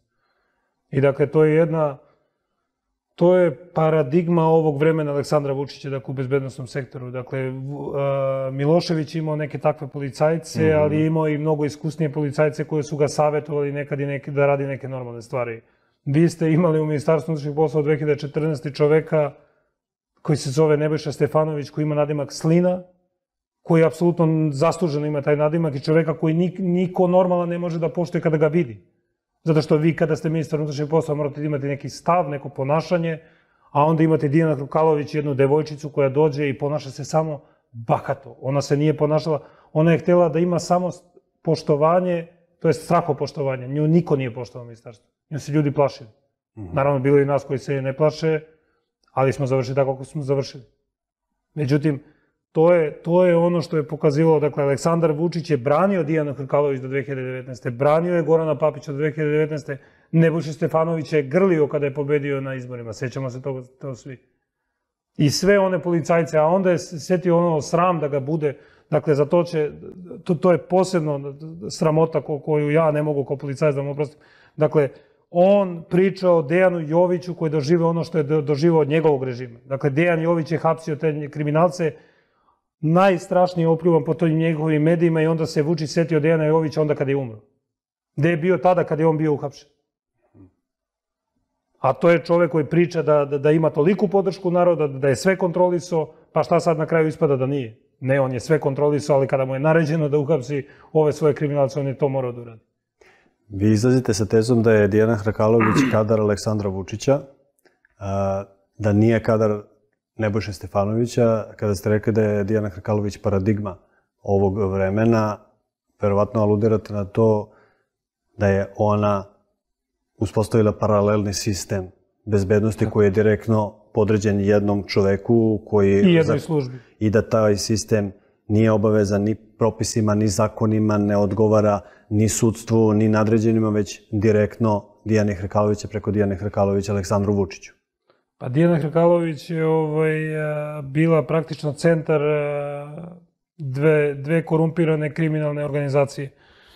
Dakle, Dijana Hrkalović u centru, sa jedne strane se nalazi Aleksandra Vučić, sa druge strane se nalaze bezbednostni sektor, odnosno pre svega bio, dakle ona došla. A zašto ona ne može da bude da Kadar kažem, Nebojše Kadar Stefanovića. Nebojše Stefanovića. Pa ona je u bezbednostni sektor ušla pre Nebojše Stefanovića. Možda je Nebojša Stefanović poslao nju da mu prokrči put, pa nije da onda on dođe. Nije mogao da, da je on pošalje, dakle ona je ušla u bezbednosni sektor već 2000, krajem 2012. godine, Nebojša Stefanović je, kako se tad sećam, bio u Skupštini. Predsednik Skupštine. On jeste bio predsednik gradskog odbora, ali ja mislim da je bio tada predsednik gradskog odbora, ali on, ona nje, on njoj nije bio šef. Dakle, njoj je šef, njoj su šefovi bili u Kraljice Ane bez broja i uh, Aleksandra Vučić sve vreme. Dakle, ona jeste bila u kabinetu kod Nebojše Stefanovića, međutim, ona je vodila ministarstvo unutrašnjih poslova. I ono što morate da znate, dakle, to ja ne govorim da bi, da bi, da bi kao, kao neki ovaj, iz režima a, podizali sebi bilo šta. Dakle, to da je Dijana, Stef, Dijana Hrkalović, ne Stefanović, vodila ministarstvo unutrašnjih poslova, čitava javnost saznala je tako što su 2. januara 2017. kod nas došli prvi put u postoju, jer su na to imali pravo naši advokati. Dakle, tad neki ljudi, ne neki, nego većina ljudi u Srbiji nisu ni znali ko je Dijana Hrkalović. A ona, rekao sam već, ovaj, je vodila sve akcije koje su direktno bile po- povezane i za porodicu Vučić i za Srpsku naprednu stranku, a protiv opozicije, odnosno protiv onih koje oni smatraju protivnicima. Dakle, sve je to vodila Dijana Krkalović, ministar unutrašnjih poslova ni tada, a ni sada, ja mislim, ovaj, po zakonu o, o policiji, nema pravo mešanja direktno u istrage. Dakle, on ima pravo da traži mesečne izveštaje i tako dalje, tako dalje, ali nema pravo na to. To je ono, to je ono što je sigurno. Dakle, ali Dijana Hrkalović je bila neko ko je kontrolisao navijače, ko je kontrolisao sve, sve što se dešava u ministarstvu, ali dobar deo je znala i, i kontrolisao ono što se dešava i u BIA. Da li je Dijana Hrkalović igrala dvostruku igru? Spomenuli ste da je možda štiti neki strani faktor, da li CIA, da li Mossad, Amerikanci, Izraelci. Gde je došlo do kuršusa jedno pitanje između Dijane Hrkalović i Aleksandra Vučića, drugo pitanje kakve su veze Dijane Hrkalović sa stranim obaveštenim službama i kada dolazi do kontakta Dijane sa, sa njima. Opet da ponovimo, dakle, a, kraj, kraj saradnje, namjerno sam spomenuo ciju, kraj saradnje ovaj, sa, sa zapadnim bezbednostnim sektorom Dijana Hrkalović e, je bio 2019. 30. maja kada je ona smenjena u Srbiji, a naređeno je nekoliko dana pre toga ministru Stefanoviću, tadašnjem sa Dijanom Kovačevićem, načelnikom UKP-a i e, Spasovim Vulovićem, e, komandantom SAJA. Tada su bili oni u poseti Americi u tri ovaj, bezbednostne agencije u Americi i tada je naređeno da Dijan Krkalović više ne bude tu. To je To- samo kraj. to a početak, kad je početak? Početak je kada strane obaveštene službe koje sarađuju e, sa Srbijom, ali ne samo, ne govorimo o stranim obaveštenim službama, nego i o, stranim policijskim službama. Dakle, to je normalna saradnja koja se stalno odvija i ovo je isto normalna, ali obaveštajna ovaj, saradnja. Kada te službe pokušavaju da sa Srbijom sarađuju i sarađuju nekoliko puta uspešno, ali onda vide da se u Srbiji nešto dešava čudno i da, da te informacije koje, koje dobija srpska policija cure. A onda se dešava i to da u sukobu između dva klana se ubistva i Srbije i Crne Gore prebacuju u inostranstvo. Dakle, da imamo ubistva u Austriji, imamo ubistva u Nemačkoj i na, e, na kraju i u Grčkoj. I pokušaj već- ubistva u Ukrajini. Da, da, pokušaj ubistva u Ukrajini, dakle to je već, to je već Evropska unija. Govorimo o, o ove tri zemlje gde svi shvataju konačno da je, da je centar toga MUP Republike Srbije. Dakle, MUP Republike Srbije i naravno BIA koja sve to kontroliše svih ovih godina. Dakle, ne možete, ne možete, ne može postojati paralelni sistem moći u MUP-u bez znanja BIA. Dakle, BIA je ona koja sve kontroliše. I, i šta hoću da kažem, a, vi imate da na Balkanu Srbija jeste ili bi trebalo bar da bude uh, centar obaveštenog rada bilo koje druge službe, odnosno centar, centar bezbednostnog rada ako, ako govorimo o saradnji. Vi imate da je DEA napravila svoj bezbednostni centar u ovaj, uh, u Zagrebu, a da se u Sarajevu nalazi jedna druga služba. Dakle, vi nemate Beograd. Zaobilaze nas. Pa naravno da nas zaobilaze zato što više niko ne veruje. Dakle, e, po, policajci sa kojima ja ovaj, razgovaram su mi dali precizne podatke da praktično od 2015. prava saradnja srpske policije i međunarodnih službi ne postoji. Dakle, a, i ove akcije, videli ste pre jedno dva meseca kada je odrađena akcija Trojan Shield, Mm -hmm. Srbija, na, odnosno rež, režimski mediji su na sve, ovaj, na sva zvona objavili da smo mi učestvovali u toj akciji. Međutim, tamo među 16 zastava ne postoji sastava Srbije. Nema, nema. Dakle, Trojan Shield nije vođen, ovaj, e, odnosno možda je Srbija samo morala da pomaže svojim policijskim snagama, ali nije bila obaveštena o toj akciji. Mm -hmm. Što I, vama govori da nemaju poverenja u naše službe. Naravno, i to poverenje je isključivo zasluga, ovaj, zašto je to izgubljeno, isključivo zasluga Srpske napredne stranke, odnosno njihovih kadrova za koje su utvrdili i videli kakvi su, da su korumpirani kriminalci poput Dijane Hrkalović, poput uh, službenika Bija, Gorana Papića i ostalo. Dakle, zbog toga je saradnja ovaj, na tako niskom nivou i pitanje kad ćemo mi opet moći da uspostavimo neku normalnu saradnju ovaj, sa, sa tim, da kažem, normalnim uh, službama iz, iz Evrope, pre mhm. svega ovaj, na tom normalnom kolegijalnom nivou. I kažete da 2019. godine dolazi do kraja saradnje, odnosno da Amerikanci na spisku precrtaju Dijanu Hrkalović kao Koja, osobu... ako se sećate, posle nekoliko meseci pokušava da se vrati kroz jedan a, tabloid ovaj, naš, gde hvali Aleksandra Vučića na sva usta i govori o tome da, da, da je sve najgore protiv opozicije, ali govori o tome kako je ona sve vreme radila za Srbiju, kako radi za državu i tako dalje, tako dalje. Međutim, to je nije prošlo i onda se ona okreće Nebojši Stefanoviću i uz sve te svoje nazovi nove prijatelje iz inostranstva ovaj, pravi pravi praktično tu, tu, tu novu ovaj, a, službu u okviru MUPA, ne samo MUPA, nego, nego i u, okviru, u okviru tog kriminalnog dela mm. bezbednostnih službi i tada i grupa Veljka Belivuka prelazi u ruke Nebojše Stefanovića, Dijana Krkalović i praktično prestaje ta saradnja, ovaj, direktna saradnja Aleksandra Vučića i, i, i te grupe, ali to je već 2020. godine. Međutim, moram ovo da kažem, dakle, Aha. 2020. godine imali smo, dakle, to je vlast pokazala. Dakle, mi imamo snimke na kome se vidi kako jedno lice bude dovezeno ispred te kuće u Ritopeku, kako izlazi iz njega, a, govori se da to drži bija. Ja to ne znam provereno, dakle, da, da, da, da su ono bijne kamere. Iz onog ugla, kako ja vidim, to su kamere i, sa neke od bandere. Pretpostavljam da su tako postavljene.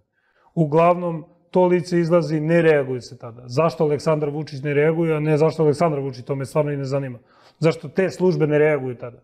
I ne hapse ta lica, to, to, to će ostati pitanje na koje će neko kad tad morati da odgovori. Ali uglavnom, i tada postoje ljudi u službi koje rade i za Dijanu Hrkalović, Nebojša Stefanović, ali i za Aleksandra Vučića. I dalje Aleksandar Vučić glavna tu spona, jer ipak on je predsednik Srpske napredne stranke, on je čovek koji ima najveću moć i on je čovek koji je morao to da spreči. To je, to je, to je jednostavno. Ako Amerikanci markiraju Dijanu Hrkalović kao neku vezu između državnih institucija Srbije i kriminalne organizacije, zašto bi je sada štitili? Sada kada je država, vaša teza Ne štite Amerikanci. Ko je štiti? Spomenjali smo Ciju, otkud Mossad u priči, nemam pojma, ali a, vaša teza je da je štiti neki spoljašnji faktor. Spoljašnji faktor, da, ovaj, sad, sad mogu da vam kažem Mossad ili BND, na primjer, ali ovaj, na kraju ćemo... to je još na kraju više ćemo se, zamućuje vodu. Da, da, pa kažem vam, na kraju uh, ono što je sigurno CIA je ne štiti, ali CIA i zapadne službe koje su, ovaj, sestrinske službe CIA, ovaj, koje su tražile da se Dijan Krkalović smeni, to nisu učinile samo iz razloga što je ona a, našu službu ovaj, učinila takvom kako je, odnosno praktično uništila, ovaj, devastirala potpuno. Dakle, oni su Oni su to tražili zato što ne može jedna država sa Balkana koja ima 7 miliona stanovnika da učestvuje direktno u švercovanju kokaina, odnosno da podržava barem ovaj, jednu grupu koja učestvuje u švercu kokaina, zove se Kavački klan. Dakle, vi, vi, vi, vi možete taksativno da, da, da vidite, odnosno hronološki da vidite kada kreće ta borba i, i kad imamo onu najveću zaplenu u istoriji zaplena, dakle radi se o 17,5 uh, tona kokaina. Ovaj, uh, Balkanski ratnik. Ne, ne, 17,5 tona u, u Filadelfiji. Ali Aha, gde su je- učestvovali sve pomorci Mhm. listom iz Crne Gore i Srbije, odnosno članovi tog klana. Pa imamo onih e, tri tone, tri, tri čamca sa tri tone ovaj, u, u Rumuniji. Dakle, mi imamo potvrdu da su lica učestvovala, ovaj, ta lica koje smo sad spominjali, dakle, pre svega Dijan Krkalović, Papić i svi oni njihovi koji su radili sa njima danas. Ti ljudi su bezimeni i dalje rade u MUP-u. Ja sam ih spominjao kod vas ne- nekoliko puta, mislim, Srećko Jandrić, Nikola Kuviljić i ostali. Dakle, to su ljudi koji sad treba da budu u zatvoru. Pa mi imamo na snimku kada Veljko Belivuk, to jest ne Veljko Belivuk, rekao sam Marko Miković razgovara sa svojim vojnicima i priča o Papiću. Pričaju o kontrapratnji, pričaju o Papiću koji javlja da su oni uhapšeni, a Papić u tom trenutku kao nač, zamenik načelnika SBP kontroliše i OPU, odnosno odeljenje za observaciju, ovaj, odeljenje za posebne akcije sa Makiša, gde sam ja radio. Pa dakle, tamo ti načelnici i zamenici načelnica, načelnika su trebali juče da budu u zatvoru, ne, ne kad ja pričam. Dakle, to je ta hobotnica. Dakle, mafijaška hobotnica nije u opoziciji. Gde sad pričaju lupetaju, te, te gluposti čak mu više i njegovi ne veruju. Da, da je Dragan Đilas platio, ili ne znam ko, platio po 100 evra navijačima Partizana da da, skandiraju protiv njega. Mislim, to mu ni njegovi više ne veruju. Kažem, to je onaj drugi spin, ali, ali, Ali govorimo, hajmo da se zadržimo... da, da, da bezbednostni sektor, dakle, a, koji je sada, dakle i sad, sad funkcioniše, dakle, Dijan Krkalović je otišao, Nebojša Stefanović je otišao, bezbednostni sektor i dalje taj sektor, odnosno svi ti ljudi su postavljeni u vreme kada je Aleksandar Vučić došao, dakle 2014. kada je Srpska napredna stranka došla. Oni su uništili e, praktično sve obaveštajce, oterali ovaj, uništili taj kakav takav sistem koji je postojao, sve obaveštajce koji su radili pre toga. Dakle, doveli su te svoje ljude koji su bespogovorno slušali bez obzira ko, ko im je šef. Dakle, u jednom trenutku Aleksandra Vučić, Andrej Vučić, Dijana Hrkalović, Nebojša Stefanović ili Veljko Belivuk. Kod nas je sve ovaj, devastirano. Dakle, sve je sudstvo je uništavano godinama, pravosuđe takođe, vi imate policiju, vi imate sve to. I sve to je uništavano iz jednog centra, dakle, iz te mafijaške hobotnice koja kontroliše sve to samo iz jednog jedinog razloga. Da mi ne postanemo normalno društvo. Kada imate normalno društvo, to deluje ovako. Kriminalci rade svoj posao, bez obzira o kojima se radi, da li na nižim ili najvećem kriminalcu, na primjer Aleksandru Vučiću ili, ili Ivanu Todorovu ili ovaj, Jovici Stanišiću, pa za koga on radio, da li radio za CIU, BND ili ne znam koga. Ako imate institucije, policija pokreće istragu protiv njega, uhapsi ga, sud ga osudi za izdaju na 40 godina, odnosno sad ne postoji krivično delo izdaje već više dela, ili ga optuže za bilo šta i osudi ga ponovo. E, zato oni, ne, zato oni nama neće da dozvole normalno društvo. Dakle, za njih zakon ne važi, važi samo za nas. I onda političari koji, se, koji su pod kontrolom tih službi dolaze i ubeđuju nekog, kao i mene, ja ne znam kako, kako misle da mene ovaj, mogu da ubede, da kažu, pa to je tako u celom svetu. Ja mogu da ih sve povedem za ruku i da im objasnim, da im pokažem da u nekom mestu to nije tako. A pogotovo kako misle da se oni mere, to je da se Srbija meri od 7 miliona stanovnika sa nekom Amerikom od 300 miliona. I sa tolikim novcem koji tamo postoji i, i ovde. Ali takvi sudovi treba sutra da sude Veljku Belivuku, Marku Miljkoviću i svim ostalim ljudima za koje znamo koliko su bili moćni, kako su podršku imali i kojim novcem su raspolagali. Ako sud ne može da privede pravdi čoveka koji zgazi dvoje dece i moraju građani Karaburme da izađu i da protestuju, pa kako od tog suda da očekujemo da pravedno sudi ovako moćnim ljudima? Bez obzira na moje mm, prilično rigidne stavove koje imam, e, šta bi sve to sutra trebalo da se menja, ja sam i dalje ubeđen da ogromna većina ljudi koji rade, pa i u sustvu, su normalni ljudi, ali koji prosto nemaju podršku da rade posao na pravi način. Dakle, mi sutra trebamo da imamo a, ljude, ne govorimo o političarima, mi trebamo da imamo ljude koji imaju svest da te institucije moraju da rade tako. Dakle, da ne bude svest samo na Karaburmi gde se to desilo, pa da tamo dođe samo nekih e, kao podrška ljudi e, koji poznaju e, to, to, to nesrećno dete njegovog oca ili, ili njihove kolega, nego da se pobune ljudi u Leskovcu za to dete koje, koje je ubijeno, pregaženo na, na, na Karabonu. Mi treba da, mi treba, tu sve sigurno ne možemo da razvijemo u godinu dana, ne možemo u pet ni u 15, ali ćemo je razviti za 50 ili 100 godina. To je potrebno nama, dakle, potrebno je buđenje te svesti kod naroda da mi postanemo jedno uređeno društvo gde će se poštovati isključivo zakon. I on će važiti i za mene, i za vas, dakle, i za onog političara ovaj, u Skupštinskoj kupi, za sve mora da važi isti zakon. Tek tad možemo da postavimo normalnu državu.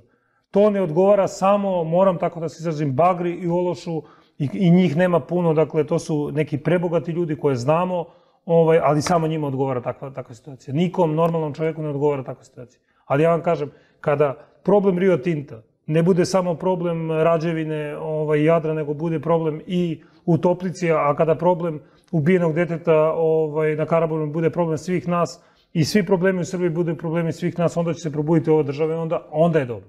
Onda to buđenje samo po sebi će biti. Odgovornost je svih institucija u zemlji da pokrenu sve moguće postupke, jer ovde ne pričamo, ovde ne pričamo o nekome ko je dva dinara negde ili ne pričamo o mitu policajcu od 50 evra ili doktoru i ne pričamo o tome da je neko, da je neko uzeo pa je sakrio, utajio porez od, ne znam, 100.000 dinara. Ovde su Kako vam gledaš na desetine, stotine miliona evra u igri. otkrivanje ove hobotnice do carine, gdje ispada da je šef carine bio predsjednik Futbalskog saveza, biznismen Brbaški je rekao da je on u Engleskoj njega bi proglasili za James Bonda, a ne da ga povlače i vređaju po novinu i hapse. Pa za mene, kao građan ove zemlje, je, mislim, tragično što su takvi neki nabeđeni e, kvazi, likovi, samo prozvani James Bondovi, koji su vjerojatno samo film gledali James Bond i ništa drugo, da su oni postali neko, nekakvo merilo u ovoj zemlji za bogatstvo, nekakvo merilo za, za, i politikom i, i, i da su imali mogućnost da preko politike e, dođu do velikog novca, odnosno preko trgovine uticajem. I to je strašna stvar da su ovakvi ljudi uspeli da, da naprave ceo sistem koji će godinama da, ispostavit će se godinama pljačka carinu i direktno pljačka budžet. Ali govori se da je to šverc uh, nafte, cigara, uh, da Mariću, to- e, to- radi se o Samo, samo šest- šest. 600 miliona Pa da, za sad. Pa, kažem, to su ogromne, ogromne pare i, i to neko će sad reći kao eto, ovi su koji su navezani na SNS su ti koji su to radili, e, što upravo pokazuje e, da borba protiv korupcije neće biti e, selektivna, borba protiv korupcije će zahvatiti svakog i kad ljudi koji su bili ili funkcioneri u SNS ili su bili u toj partiji ili su bili, ne znam, u predsjedništvu, dođu sa lisicama u SBPO gde će im se sutradan oduzeti imovina ako se ispostavi da su samo, kažem, ako se Stečena ispostavi da, kriminalom. da je stečena na ovaj način preko carine i pljačkom carine građana, da će oni biti procesuirani, da će se oduzeti imovina, što pokazuje da ova, država, da ova država se bori protiv svakoga, da uopšte nije selektivna kako ovi iz opozicije to pokušavaju da predstave.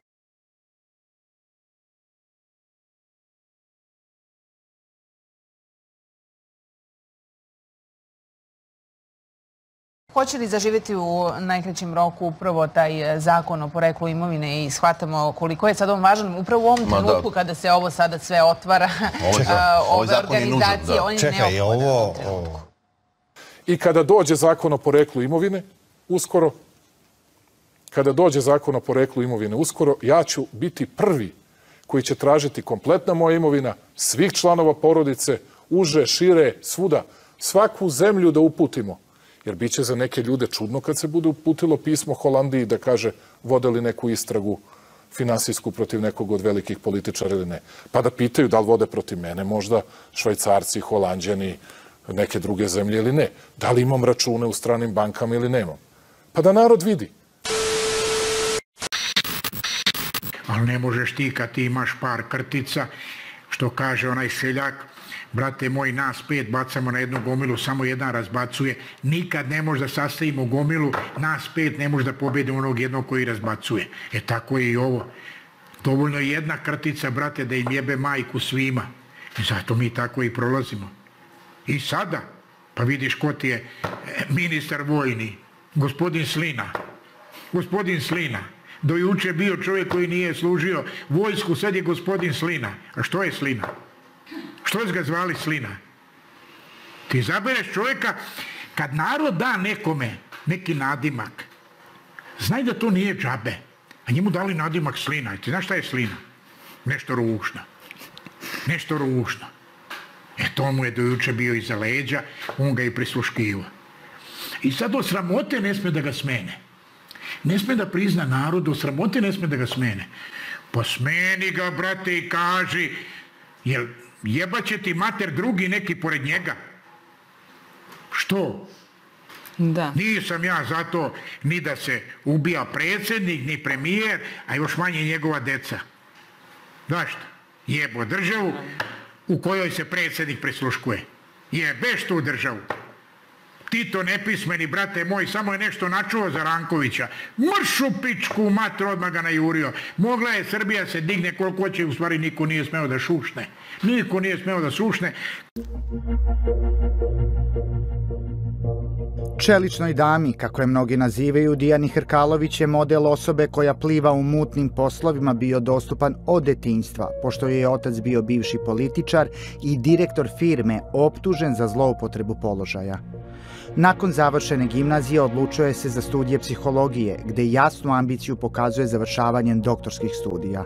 U vladajuću stranku ulazi sa 25 godina i nakon toga brzim koracima dolazi do najviših funkcija u državi.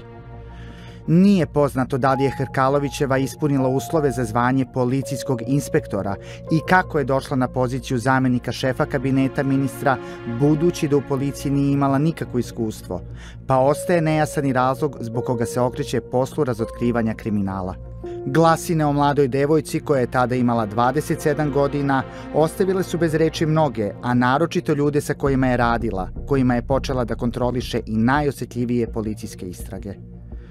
Jedan od optuženika koji je bio na saslušanju kaže Jedan od policajaca doneo je kafu, vodu, ledeni čaj, Coca-Colu i šveps. Devojka je donela svoj zlatni Davidov i ponudila me. Video sam da posjeduju neko osrednje znanje iz psihologije, muškarci manje više, ali devojka koja je vodila 95% razgovora koristila je psihološko-lingvističke tehnike koje su zastarele još u 19. veku. Nakon tri sata psihičkog maltretiranja da izvuku iz mene ime i prezime izvora, razgovor je završen. Poznata je po karakterističnom izrazu lica, koji ode utisak čutljive i vrlo stroge osobe, sa kojom niko ne bi volao da ima problem. Iako su novine često objavljivale njene ženstvene fotografije i vrlo redko fotografije na kojima se smeje. Učestvovala je u mnogim istragama koje su zadale udarac organizovanom kriminalu i korupciji, a mnoge od tih akcija je i sama organizovala. Svojim poslom pobreja simpatije vrha države, ali i biva dovedena u vezu sa mnogim aferama, među kojima i prisluškivanje predsjednika prema kome, kako kaže, osjeća strahopoštovanje. Primetbe na njen rad kreću zbog zapošljavanja svojih ljudi i otpuštanja ljudi koji dobro rade svoj posao, gledajući da oko sebe ima ljude od poverenja. Na taj način sebi pravi zaleđinu za sve mutne poslove kojima upravlja. Uhapšena čelična dama na saslušanju nakon hapšenja odgovara sa ne znam i ne sjećam se. A kako će ovaka profil ličnosti doživeti ovaka pad, ostaje da vidimo.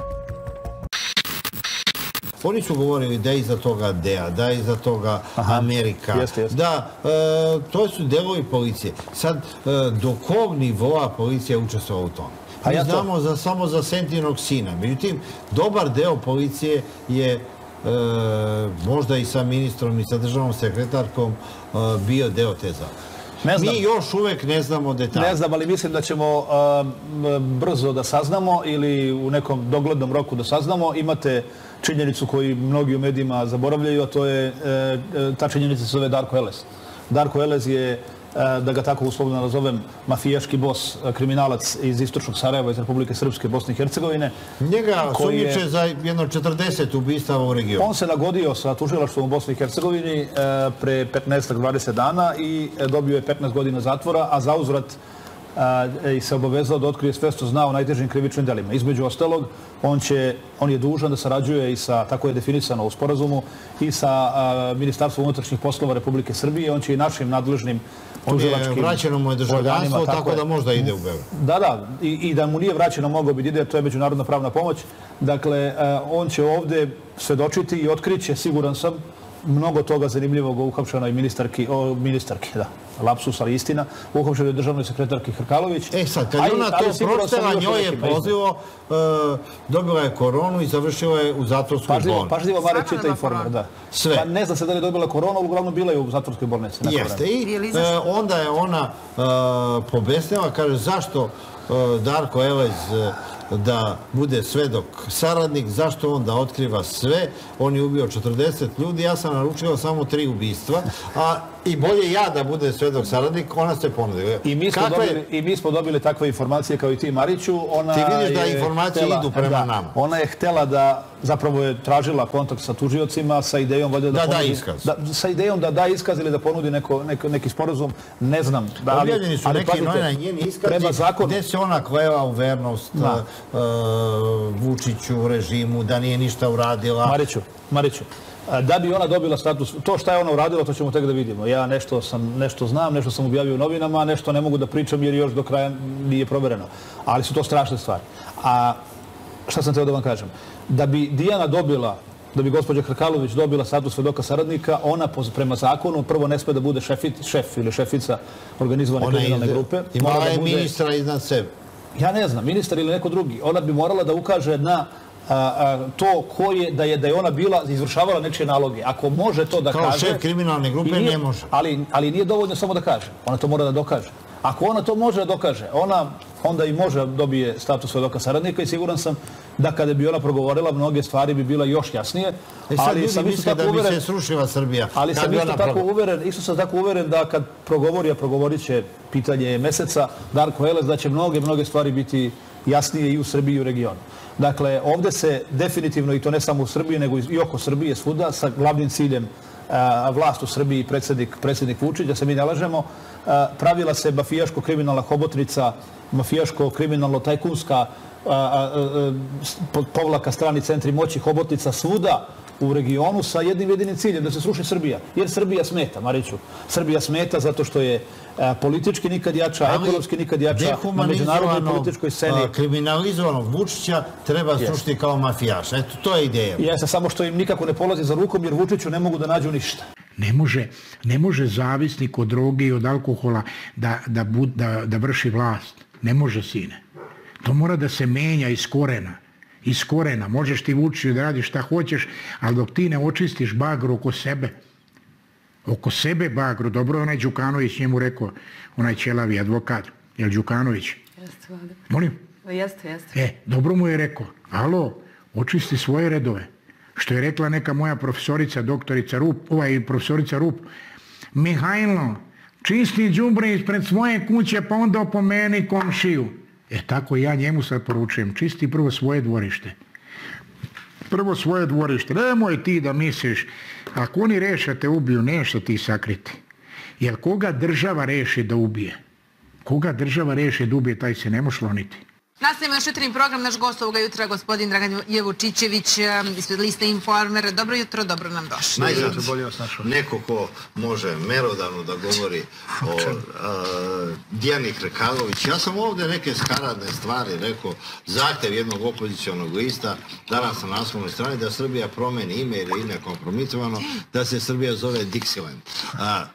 A, ali oni to ozbiljno govore. Evo sad, na, ali na naslovnoj strani kod tebe ti si e, čovjek koji uvek ima neku informaciju više. E, ovde isma Dijana sakrila pare na računima ljubavnica. E, ranije su listovi govore o njenim ljubavnicima, sad govore o ljubavnicama. I da, Ona je imala jedno i drugo, kao kažu. e, sad, ali ti nemaš, jedan drugi list Ima ima, se, može se. fotografiju gde se ljubi sa jednom devojkom. Imamo i to, nego nismo puštali. mislim. Čekaj, vi to niste, ali evo druga Pa, ona je to, pa nije to nikakva nauka, to ona objavljivala na društvenim mrežama, ona to nije krila. Čekaj, ovo je sve bilo na a, njenim profilima. Skoro sve. Ne, one, one slike iz kancelarije gde, gde je pravila seksi selfie u kancelariji, to nije bilo, ali a, o, većina ovih drugih slika sa tim drugaricama... Ja sad ne znam da li si išao u tu kancelariju, ovdje su Nisam. merodavni svedoci uh, potvrdili da su te zaista fotografije nastale u njenoj kancelariji. Oni su išli u tu kancelariju, kaže Pa da. to je taj Pa njen da. radni sto, Pa sve da. je tako. liči, ja ne znam, nisam bio uh, nikad u njenoj kancelariji, uh, ali liči, da. Mislim, liči na te prostorije tamo u, u kako, to, kako mi to zovemo, SIV, ili kako se zove, palata, ili gde oni sede, ne znam. Ali nije u tome poenta. Poenta je u tome da je da je to sad sve zvuči zanimljivo okolo, to što mi pišemo, što vi pričate, pa to zanimljivo ljudima, pa je li ovo ili ono. Suština ja sam u tome ti u hodnjaku je... ispričao nešto što čak ja ne znam, do tebe nije stiglo. Da.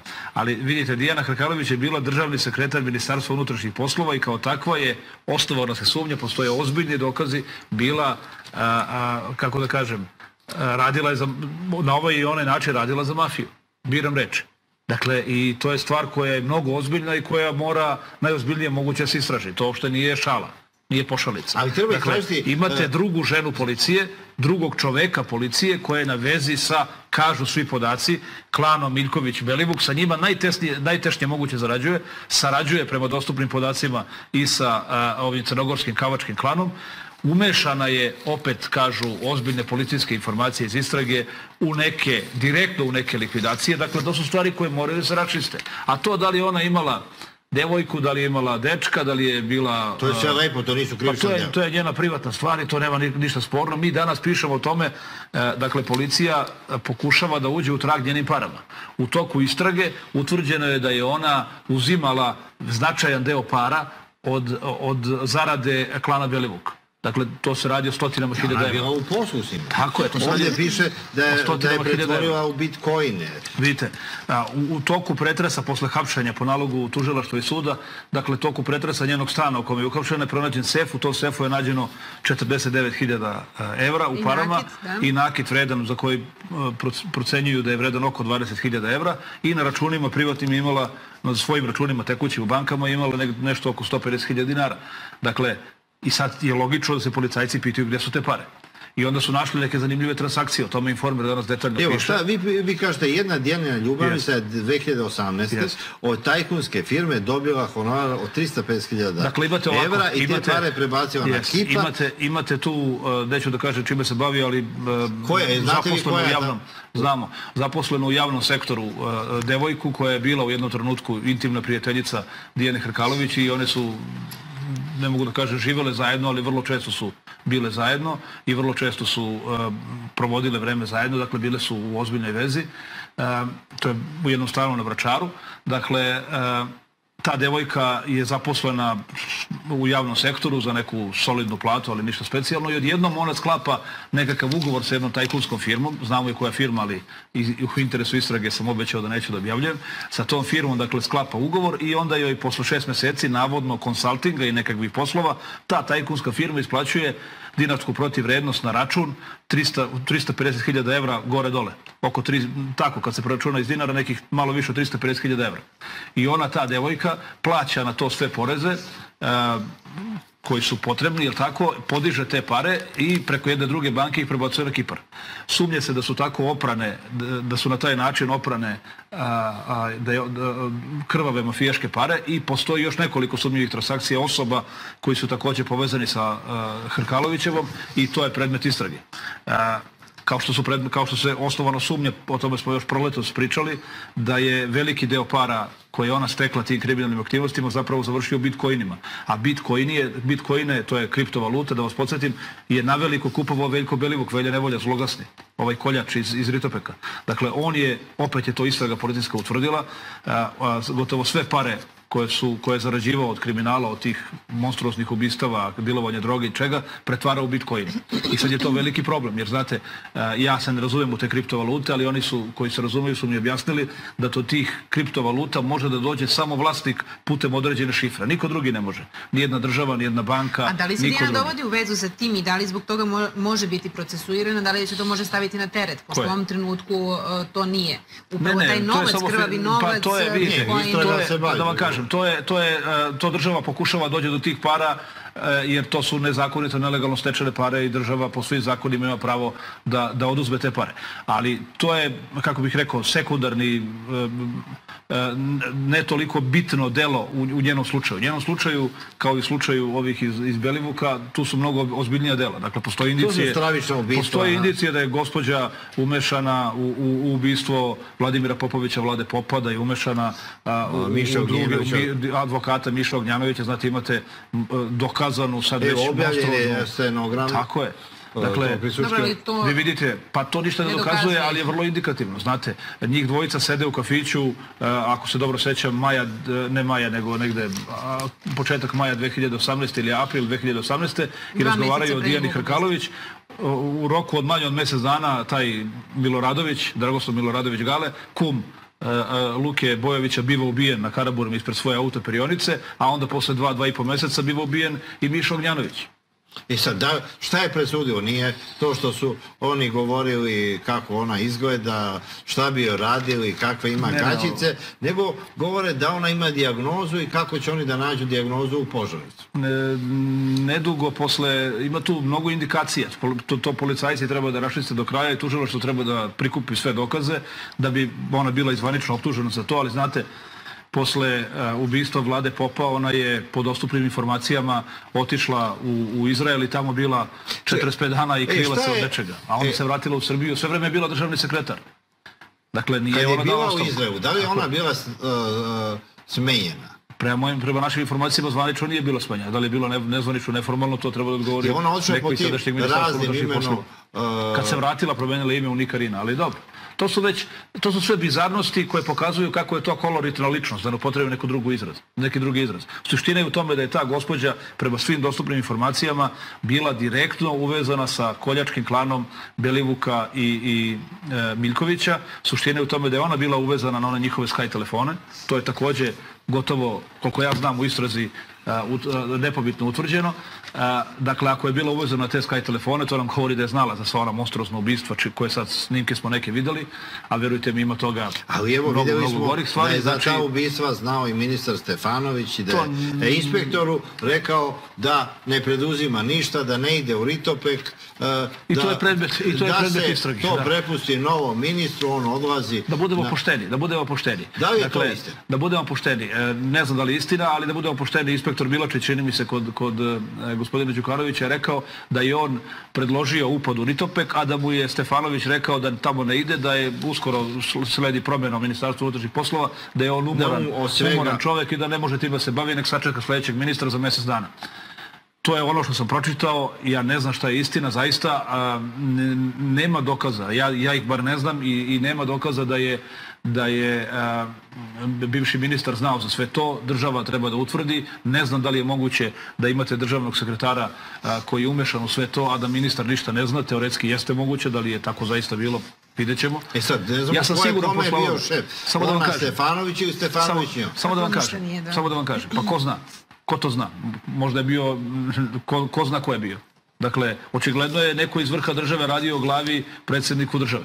I to je sad jasno kao dan. Ta Dijana Hrkalović o kojoj pričamo a, o poslednjih nekoliko minuta je, dakle, bila predvodnik akcije prisluškivanja, sada to znamo, a, dakle, prisluškivanja predsjednika Vučića, ona je naređivala njegovo tajno praćenje. Evo ona i... mogla da naređuje, pošto Pa mogla je, pročitala sam mogla? u, ne znam sada u kojim novinama da su neki stručnjaci rekli da ona nije bila na poziciji da ona mogla da deli takva naređenja. Pa ona ih je delila, a da li je bila na poziciji ne znam. Uglavnom sva su ta naređenja Mhm. bitno je bila... da su je slušali. Sva su To- ta naređenja bila, bila usmena i e, osim jednog policajca ja ne znam da se iko suprostavio tome, e, e, ili dvojice, dvojice, da ne grešim dušu.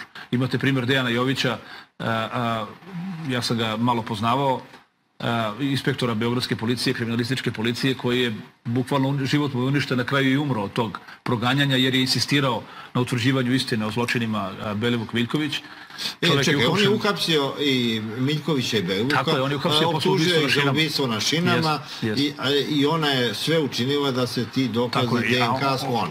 Uklonila je preko svojih ljudi, to sada tvrdi tužilaštvo, uklonila je, zaprljala, uništila te tragove da bi Biljković e, i Belivuk bili oslobođeni, a onda je policajca koji je radio na tom slučaju, Dejana Jovića, proglasila za korumpiranog e, i kriminalnog policajca, uhapsila ga, držala ga, držala ga, uslovno sve govorim, ne ona, ali taj sistem, držali su ga e, mjesec dana u pritvoru, e, podigli su nekakvu optužnicu, posle godinu, godinu i po suđenja, sud je dokazao da su to sve laži, apsolutno.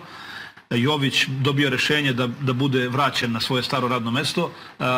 ministarstvo tada odbije da ga vrati na radno mesto i postavljaju ga na neko, tako ne, da neko tamo nebitno nebitno mesto u odeljenju za strance e, i on ovaj, e, u, u, biva najstrašnije šikaniran, e, razboljeva se, onda na kraju dobija koronu i čovjek umire. A njegov otac je meni rekao e, i ostaje pri tom iskazu da je on ubijen u bolnici i da je Dijana naredila njegovu ubistvo. Ja to ne znam i nemam... Policija, ja sam ga pozvao dođu u emisiju da to svedoči.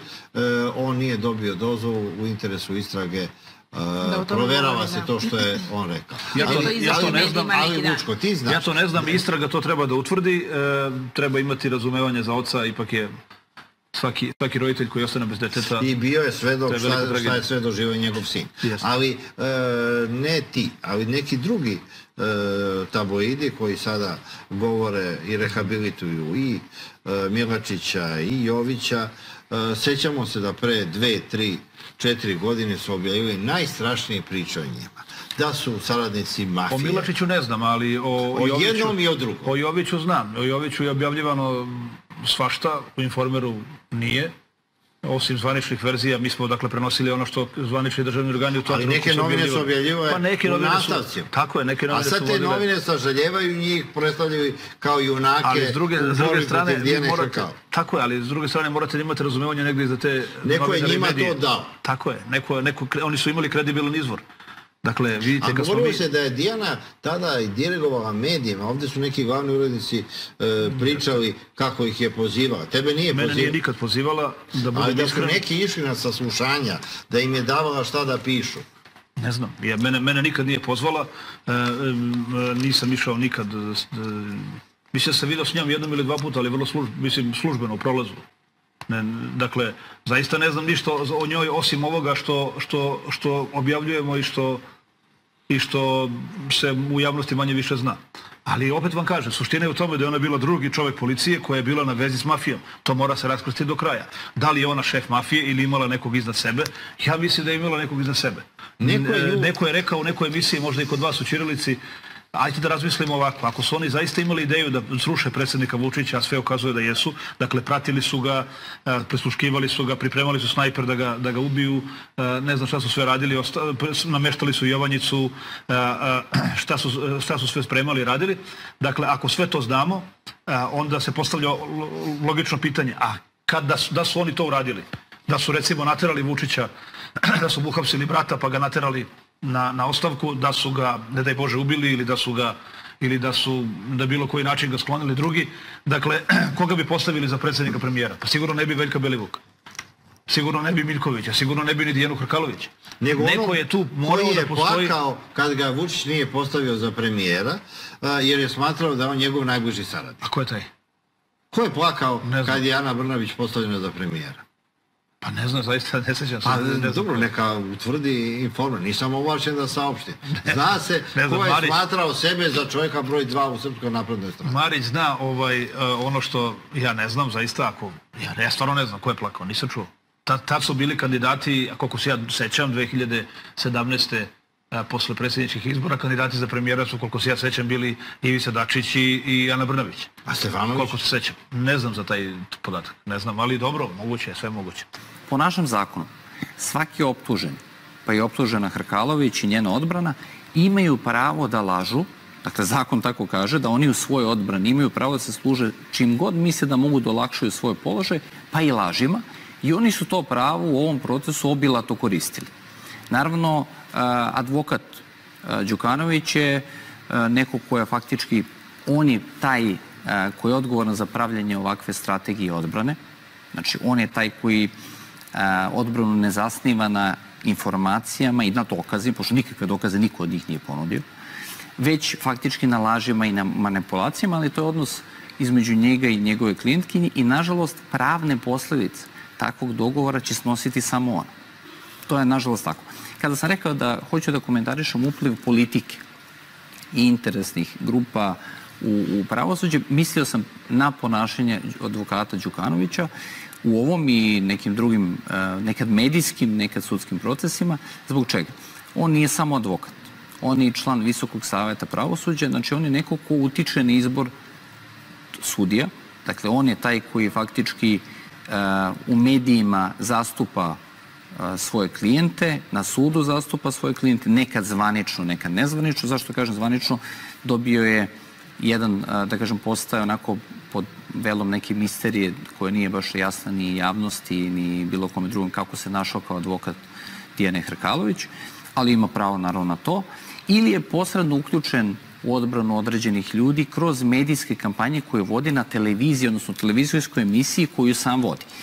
I faktički on onda pokušava da medijskim političkim, političkim uticajem utiče na tok istražnog procesa i na tok suđenja, skrećujući teme, plasirajući informacije koje on misli da su takve. Ovde nema naravno ničega volšebnog, jer faktički on je političar, član Visokog saveta pravosuđa utiče... Član stranke u kojoj vi pripadate. Član predsedništva kao ja. Stranačke kolege. Jeste, s tim što ja to ne radim, a on to radi.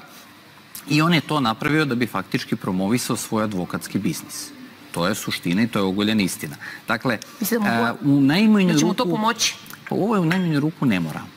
Znate, spajanje, nemoralno. Spajanjem političara i advokata, a možda i nešto teže.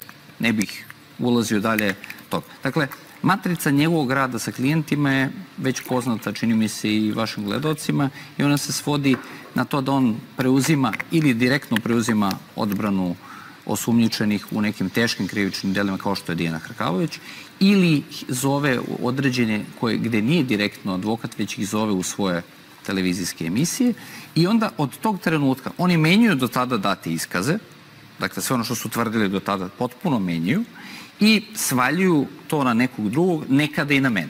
Dakle, u posljednom slučaju na mene. I Ona je izjavila da se radila po vašem, uh, po vašem nalogu. Apsolutna laž, zato sam rekao ne želim dalje da to uh mhm. -huh. elaboriram. Dobro. Dakle, oni se, za uzvrat, ovi klijenti se nadaju boljem položaju, boljem tretmanu, siguran sam u to, boljem tretmanu, zato što smatraju da kao branioci imaju uticajnu političku ličnost koja to može da im izdejstvuje.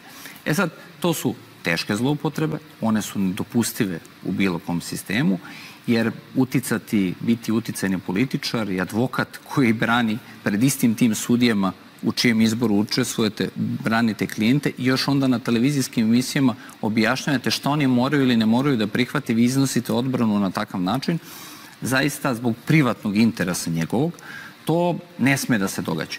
Um, ja neću da govorim o suđenjima, Dakle, neću o toku suđenja da se izjašnjam, zato što bih onda uradio isto što radi i drugi, dakle, da pokušavam da utičem na njih, ja to ne želim. I mislim da je za nas u interesu da se sva suđenja odvijaju u skladu sa zakonom i da sudije potpuno samostalno i slobodno iznose e, ono što one misle, da presuđuju po zakonu i na osnovu dokaza koji se prezentuju. A kako će biti da vaš odnos prema Vladimiru Đukanoviću? Hoćete li ga tužiti za te izjave ukoliko se kasnije spostavi kao netačne, ja se... da treba vi da budete na optuženičkoj klupi, ne Dijana Hrkalović? Dakle, e, svako ima pravo na mišljenje, ali tamo kad se iznese nešto što je potpuna laž i nešto što kriminalizuje mene ili članove moje porodice, to ste mogli da vidite faktički jedinstvo Vladimira Đukanovića i Đilasovih medija, dakle koji su potpuno jednako i jednako danas vode harangu i hajku protiv mog čak mrtvog oca. Moj otac je mrtav od jula 2020. godine. I danas ga i Vladimir Đukanović i Đilasove mediji. Potpuno jednako. To ne radi niko drugi. Oni. Dakle, ja sam tužio i Đilasove medije. To radi sad Vladimir Đukanović jednako kao da prepisuje ono što se čitao na N1 Novo i drugim Đilasovim medijima. Univerzitet Megatrend pokazao je agenciji Tanjug studentski dosije ministra unutrašnjih poslova Neboše Stefanovića i poručio da su osporavanje diplome osnovnih studija ministra doživjeli kao urušavanje ugleda te obrazovne ustanove. Kako navodi agencija, iz dokumentacije se vidi da je Stefanović upisao Megatrend International Expert Consortium Limited 1995. godine na smeru Business i Management, da je slušao predavanja, polagao ispite, diplomirao i preuzeo diplomu 2004. godine. Predsednik Saveta Univerziteta Megatrend, akademik Ljubiša Rakić, kaže kako ovu situaciju tumači kao nepotrebnu politizaciju koja nanosi štetu i ugledu univerziteta. Kad sam pogledao dokumentaciju da je ceo postupak rađen po postojećem zakonu o univerzitetu. U Megatrendu kažu za Tanju gde je Megatrend International Expert Consortium Limited postojao od 24. avgusta 1990. godine, da je Megatrend kao poslovna škola osnovana nekoliko meseci ranije, ali su počeli sa zajedničkim radom u jesen 1991. godine, a na osnovu međusobnog ugovora o saradnji. Tada je postojao, objašnjavaju, samo jedan studijski program, biznis i management, a predavači su, tvrde na Megatrendu, bili sa univerziteta iz Francuske, Engleske i Nemačke, kao i ugledni profesori sa domaćih državnih univerziteta. Megatrend International Expert Consortium je funkcionisao do 2004. godine, paralelno sa tada već osnovanim Megatrend univerzitetom, tvrde sa Megatrenda. Postoji dokumentacija da ceo postupak rađen je po zakonu, da možete se uveriti u administraciji, proveriti svu tu dokumentaciju i sankcionisati ono o čemu ja govorim. Ovim povodom danas se oglasio i Savez za Srbiju i ocenio da izjava Ljubiše Rakića predstavlja novi falsifikat, ali i sramotu za Srpsku akademiju nauka i umetnosti, čiji je Rakić član. Savez je u saopštenju naveo da je nepoznato zašto se akademik Rakić uopšte oglašava u ime Megatrend univerziteta, kada Nebojša Stefanović nije završio taj fakultet, već je diplomu dobio od britanske firme Megatrend International Expert Consortium Limited. Iz tog opozicionog bloka su upitali i kako je Nebojša Stefanović upisao taj lažni fakultet 1995. godine, kada je u to vreme neuspešno studirao najpre medicinski, a potom i pravni fakultet u Beogradu. Mi smo došli u situaciju da, nažalost, policija nam se pretvorila u Nandragetu, u Kozanostru. Sad treba da crveni zbog ovakih idiota koji su sve ovo uradili. Ja treba da sedim u istoj prostoriji sa onima čiji su saradnici bili ove glavoseče. Ne pada mi na. Ne pada mi na pamet da to radim. Izvršenje najtežih krivičnih dela. Mi imamo značajan pad. Dakle, u, na, na Beogradskim ulicama nemate više mafijaško ubistvo, nemate one užasne obračune. U ovoj godini smo imali samo jedno. Ne kažem samo da je to jedno ubistvo je previše, ja sam to uvijek govorio, ali je u odnosu na ono što smo imali pre 10 godina, 15 godina, pre 5 godina, ovo je danas Samo čekate šta će sutra. Izvršenje najtežih krivičnih dela. Mi imamo značajan pad. Dakle, u, na, na Beogradskim ulicama nemate više mafijaško ubistvo. Možda, možda da, da, da, se, da se eventualno ranije nešto učinilo, poslušalo, možda do svega ovog ne bi došlo, ali razumem čak ko bi poverovao da ovakve stvari mogu da se dešavaju. Poštovani prijatelji,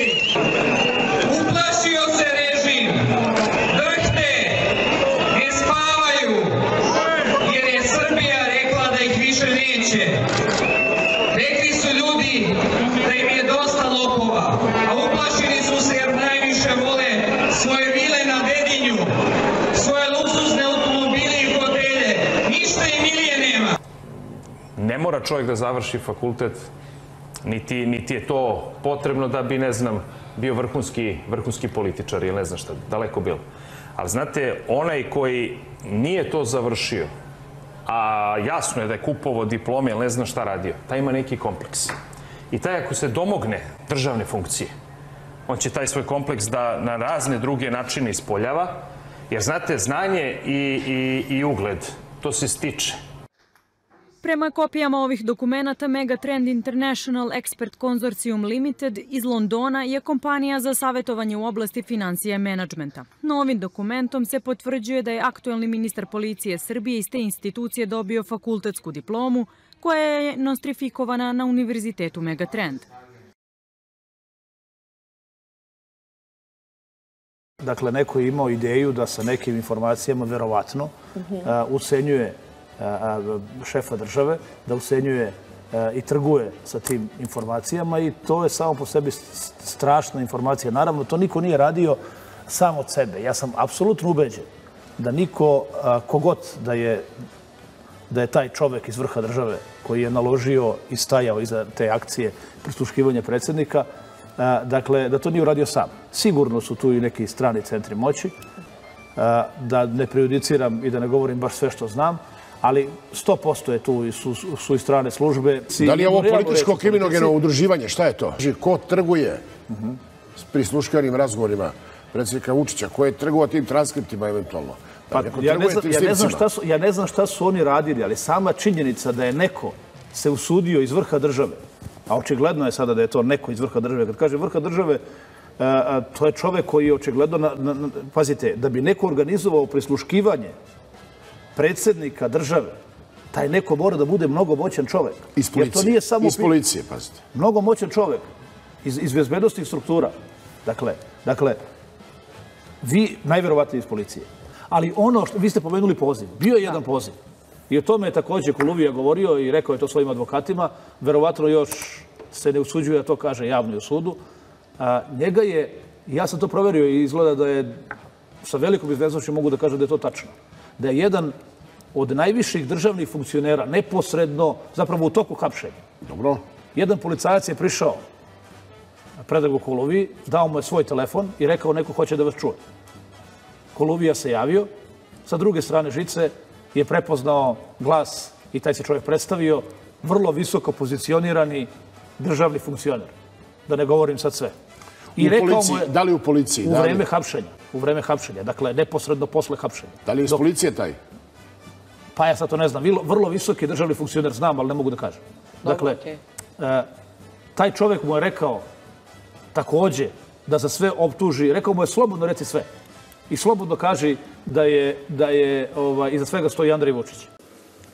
Želim da se obratim i vezano za temu koja je, da kažem, u javnosti bila, da kažem, od posebnog interesovanja i da hronološki, odnosno da pokažem i da vam kažem šta se sve dešavalo u slučaju, takozvanom slučaju Jovanjica, kako se dešavalo i zbog čega, naravno, jedno vreme nismo izlazili sa informacijama u javnost o ovom delu.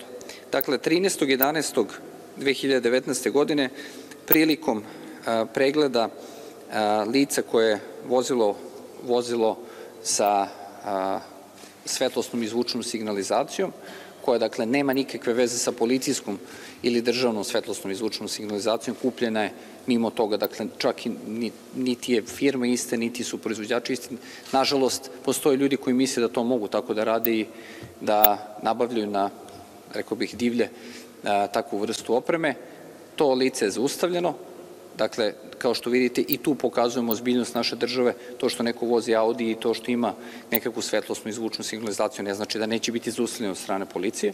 Prilikom pretresa uh, ovog lica, vozač i suvozač, uh, kod njih je pronađeno kod uh, Koluvija Predraga, falsifikovana, kasnije se utvrdilo da je falsifikovana službena legitimacija MUPA kojom se on predstavio, ću vam pokazati kako ona izgleda.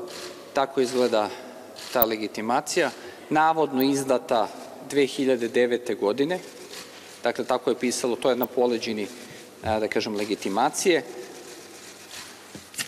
Pokazat ću vam kako to izgleda, dakle kako izgleda u, možete se na ovoj slici bolje vidi. Urađeno je veštačenje, takođe ova legitimacija svojim brojem postoji kod drugog policajca, dakle, koji je, koja je regularna, koja je izdata, koji se nalazi u jednoj od policijskih uprava, čini mi se u Kruševcu ili Kraljevu.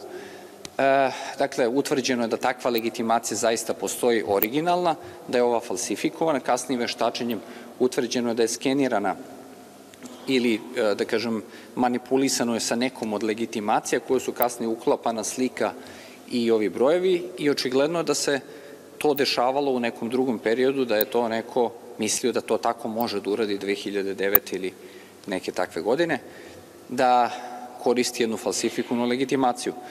Srećom, policajci su veoma dobrom akcijom to prozreli, zaplenili, uhapsili ova lica, odmaj obavestili nadležnog tužioca, tim ljudima određeno zadržavanje i e, već 2013, 13.11.2019. E, godine obavešten tužilac Višeg tužilaštva u Sremskoj Mitrovici područno nadlažan e, Borka Jovanović koja je izdala naredbu za pretres stana i drugih prostorija nakon čega je izašla na lice mesta i sačinila zapisnik u izvršenom uviću. Dakle, e, 14.11. od 14. do 11. do 19.11. su vršeni pretresi firme Jovanjica u Staroj Pazovi, čiji je vlasnik Predrag Koluvija, policijski službenici su pronašli laboratoriju za proizvodnju opojne droge marihuana u veštačkim uslovima i tom prilikom pronađeno više stotina kilograma suve materije opojne droge marihuana i e, više desetina hiljada stabljika sirove e, e, biljke, koja faktički u ovom trenutku se nalazi u zaplenjena od strane tužilaštva i nakon, da kažem, sušenja će se izvršiti merenje da bi se dobila precizna količina, dakle svaki gram koji je droge zaplenjen. Dakle, ovu količinu nisam uročunao u one podatke koje sam rekao na početku, dakle, nju ćemo tek kada bude tužilaštvo se saglasilo i kada budemo izveli sve dokaze, dakle, kada budu sve analize utvrđene, tada ćemo moći da uvrstimo, ali to će biti još jedna značajna količina zaplenjenih narkotika. E, naime, po dobijanju naloga od tužilaštva, to hoću da objasnim zato što je to bilo dosta pitanja u javnosti, po dobijanju naloga od tužioca e, da se započnu istražne radnje, policija od tog trenutka nije više imala mogućnost, što je normalno, da obaveštava javnost o preduzetim akcijama, o preduzetim aktivnostima i bilo je pitanja zašto ministar recimo nije došao da se slika pored e, e, tih narkotika. Prvo nisam se slikao ni kad smo zaplenili tonu marihuane, nedavno nisam išao da se slikam pored narkotika, pošto to nije moj posao da slikam pored narkotika, već da organizujem podršku policiji da može efikasnije da ih zaplenjuje. A s druge strane, ako imamo tužilačku istragu, o tome smo mnogo puta govorili, tužilac je taj koji procenjuje u kom trenutku izlazimo sa informacijom. Direktor Rebić je to pokušao da objasni. Mislim da je to bilo jedno dobro saopštenje, ali vidim da i to nisu hteli da prihvate. Čekajte ljudi, pa ako imamo istragu koja na tom imanju traje i tu se nalazi ogromna količina narkotika, tu se nalaze 22 hale, da li je bilo normalno da mi u prvom trenutku obaveštavamo javnost i da upozorimo mogući izvršioce krivičnih dela šta smo sve pronašli. Pored tih narkotika pronašli smo jedan pištolj, jedan revolver.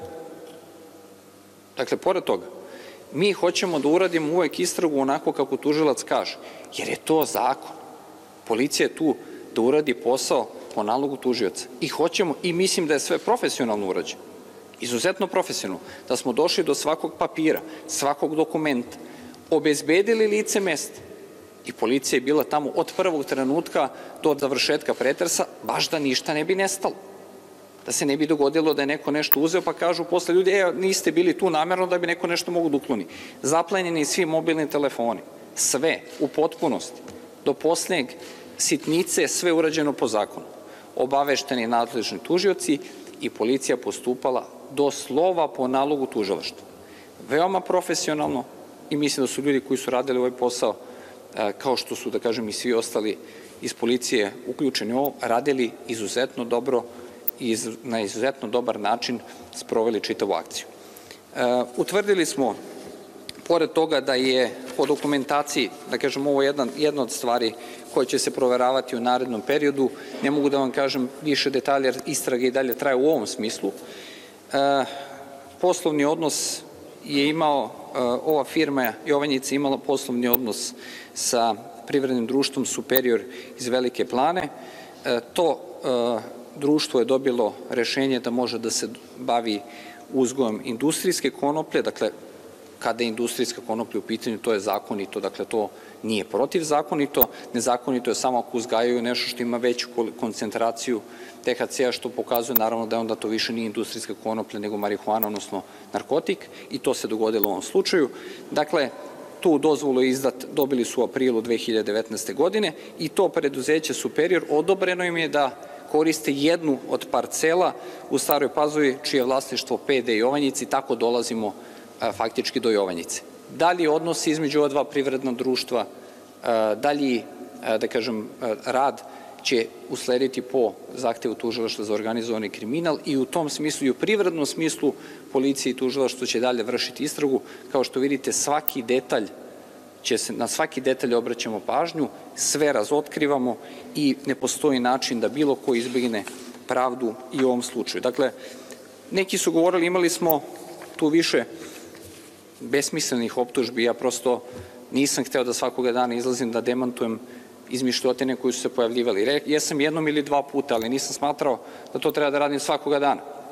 Govorili su da sam lično umešan u ovo i da poznajem ovog čoveka. Dakle, tog i sumnjičnog Koluviju nisam nikada u životu sreo, nikada se s njim nisam čuo, nikada se s njim nisam čak ni rukovao. Ni slučajno. Ni slučajno.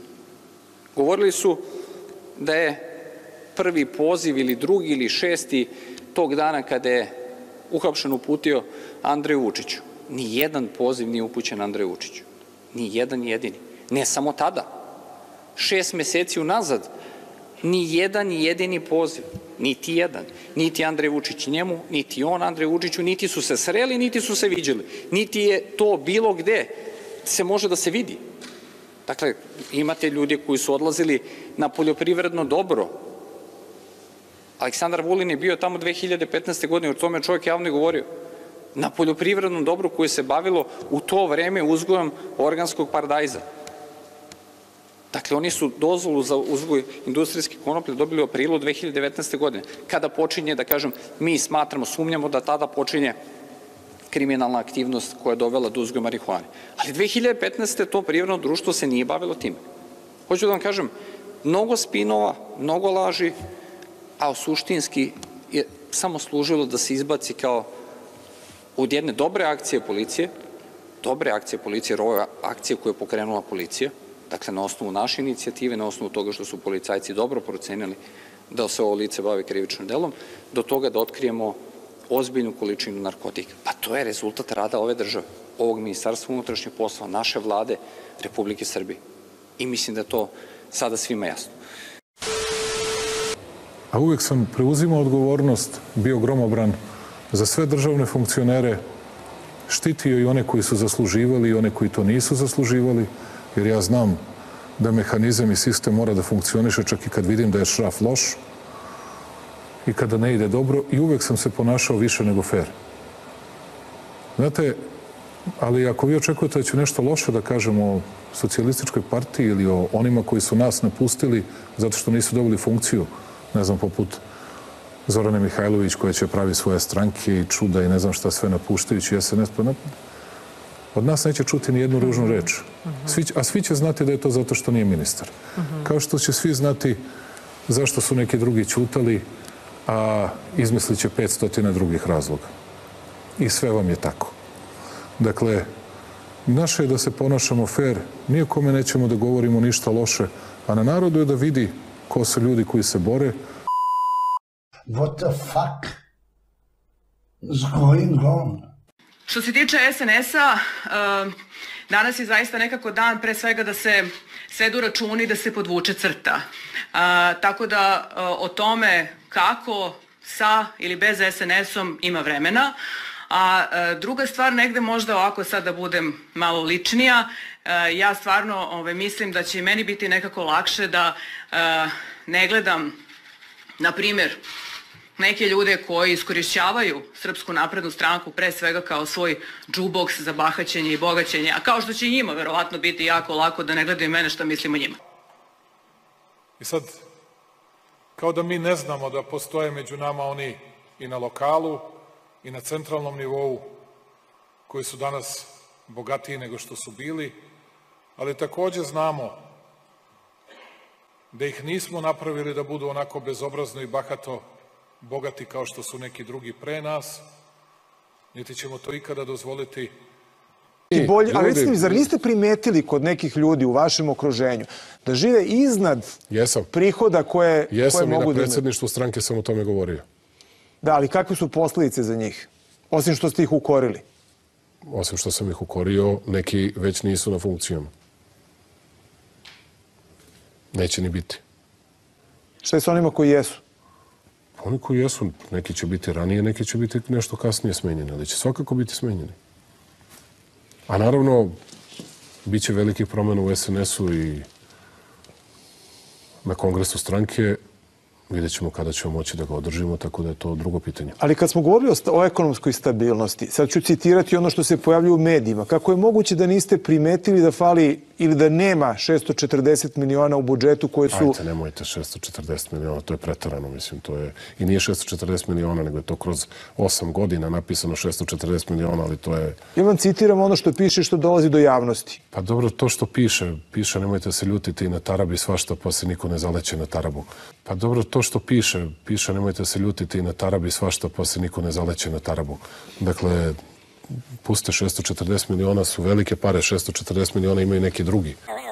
Ali kad smo govorili o, o ekonomskoj stabilnosti, sad ću citirati ono što se pojavljuje u medijima. Kako je moguće da niste primetili da fali ili da nema 640 miliona u budžetu koje su... Ajte, nemojte 640 miliona, to je pretarano, mislim, to je... I nije 640 miliona, nego je to kroz 8 godina napisano 640 miliona, ali to je... Ja vam citiram ono što piše što dolazi do javnosti. Pa dobro, to što piše, piše, nemojte se ljutiti i na tarabi svašta, pa se niko ne zaleće na tarabu. Pa dobro, to što piše, piše, nemojte se ljutiti i na tarabi svašta, pa se niko ne zaleće na tarabu. Dakle, puste 640 miliona su velike pare, 640 miliona imaju neki drugi koji su se time pohvalili. 640 miliona su pretarani novci. Ali sad kad kažemo za, i za te druge, ali za koje, za 600, koje spominjate... Ali samo da znate, tih 640 miliona i ti koji su pominjali, je to za 7-8 godina, a ne, ne u godinu dana. To je kakvih 640 miliona, ogromna novost, to biste odmah videli. O čemu se radi? Ja sam doneo jedan mali primer Ne znam zašto sam ovo mali upotrebio, možda i veliki. Pretpostavljam da niste čitali, ja nisam znao, meni Ovana donela danas pred sednicu predsedništva. Ona čita te njihove novine, ja i ne čitam da vam pravo kažem, zato što, reći vam zašto. Zato što ako bih to radio, plašim se da bi me emocije odvele u pogrešnom smeru i da ne bih mogao da se bavim strateškim i važnim taktičkim odlukama, već samo odgovorima na gluposti ali sam uhvatio nešto što želim da vidite da čujete i da razumete zašto je teško i zašto morate da budete potrošeni. Nekada i svojom krivicom, ali dobrim delom i bez svoje krivice. Vidite, ovo je četvrta strana, juče ili danas, Ana, ne znam kad. Juče, sred, nije važno, juče prekiče.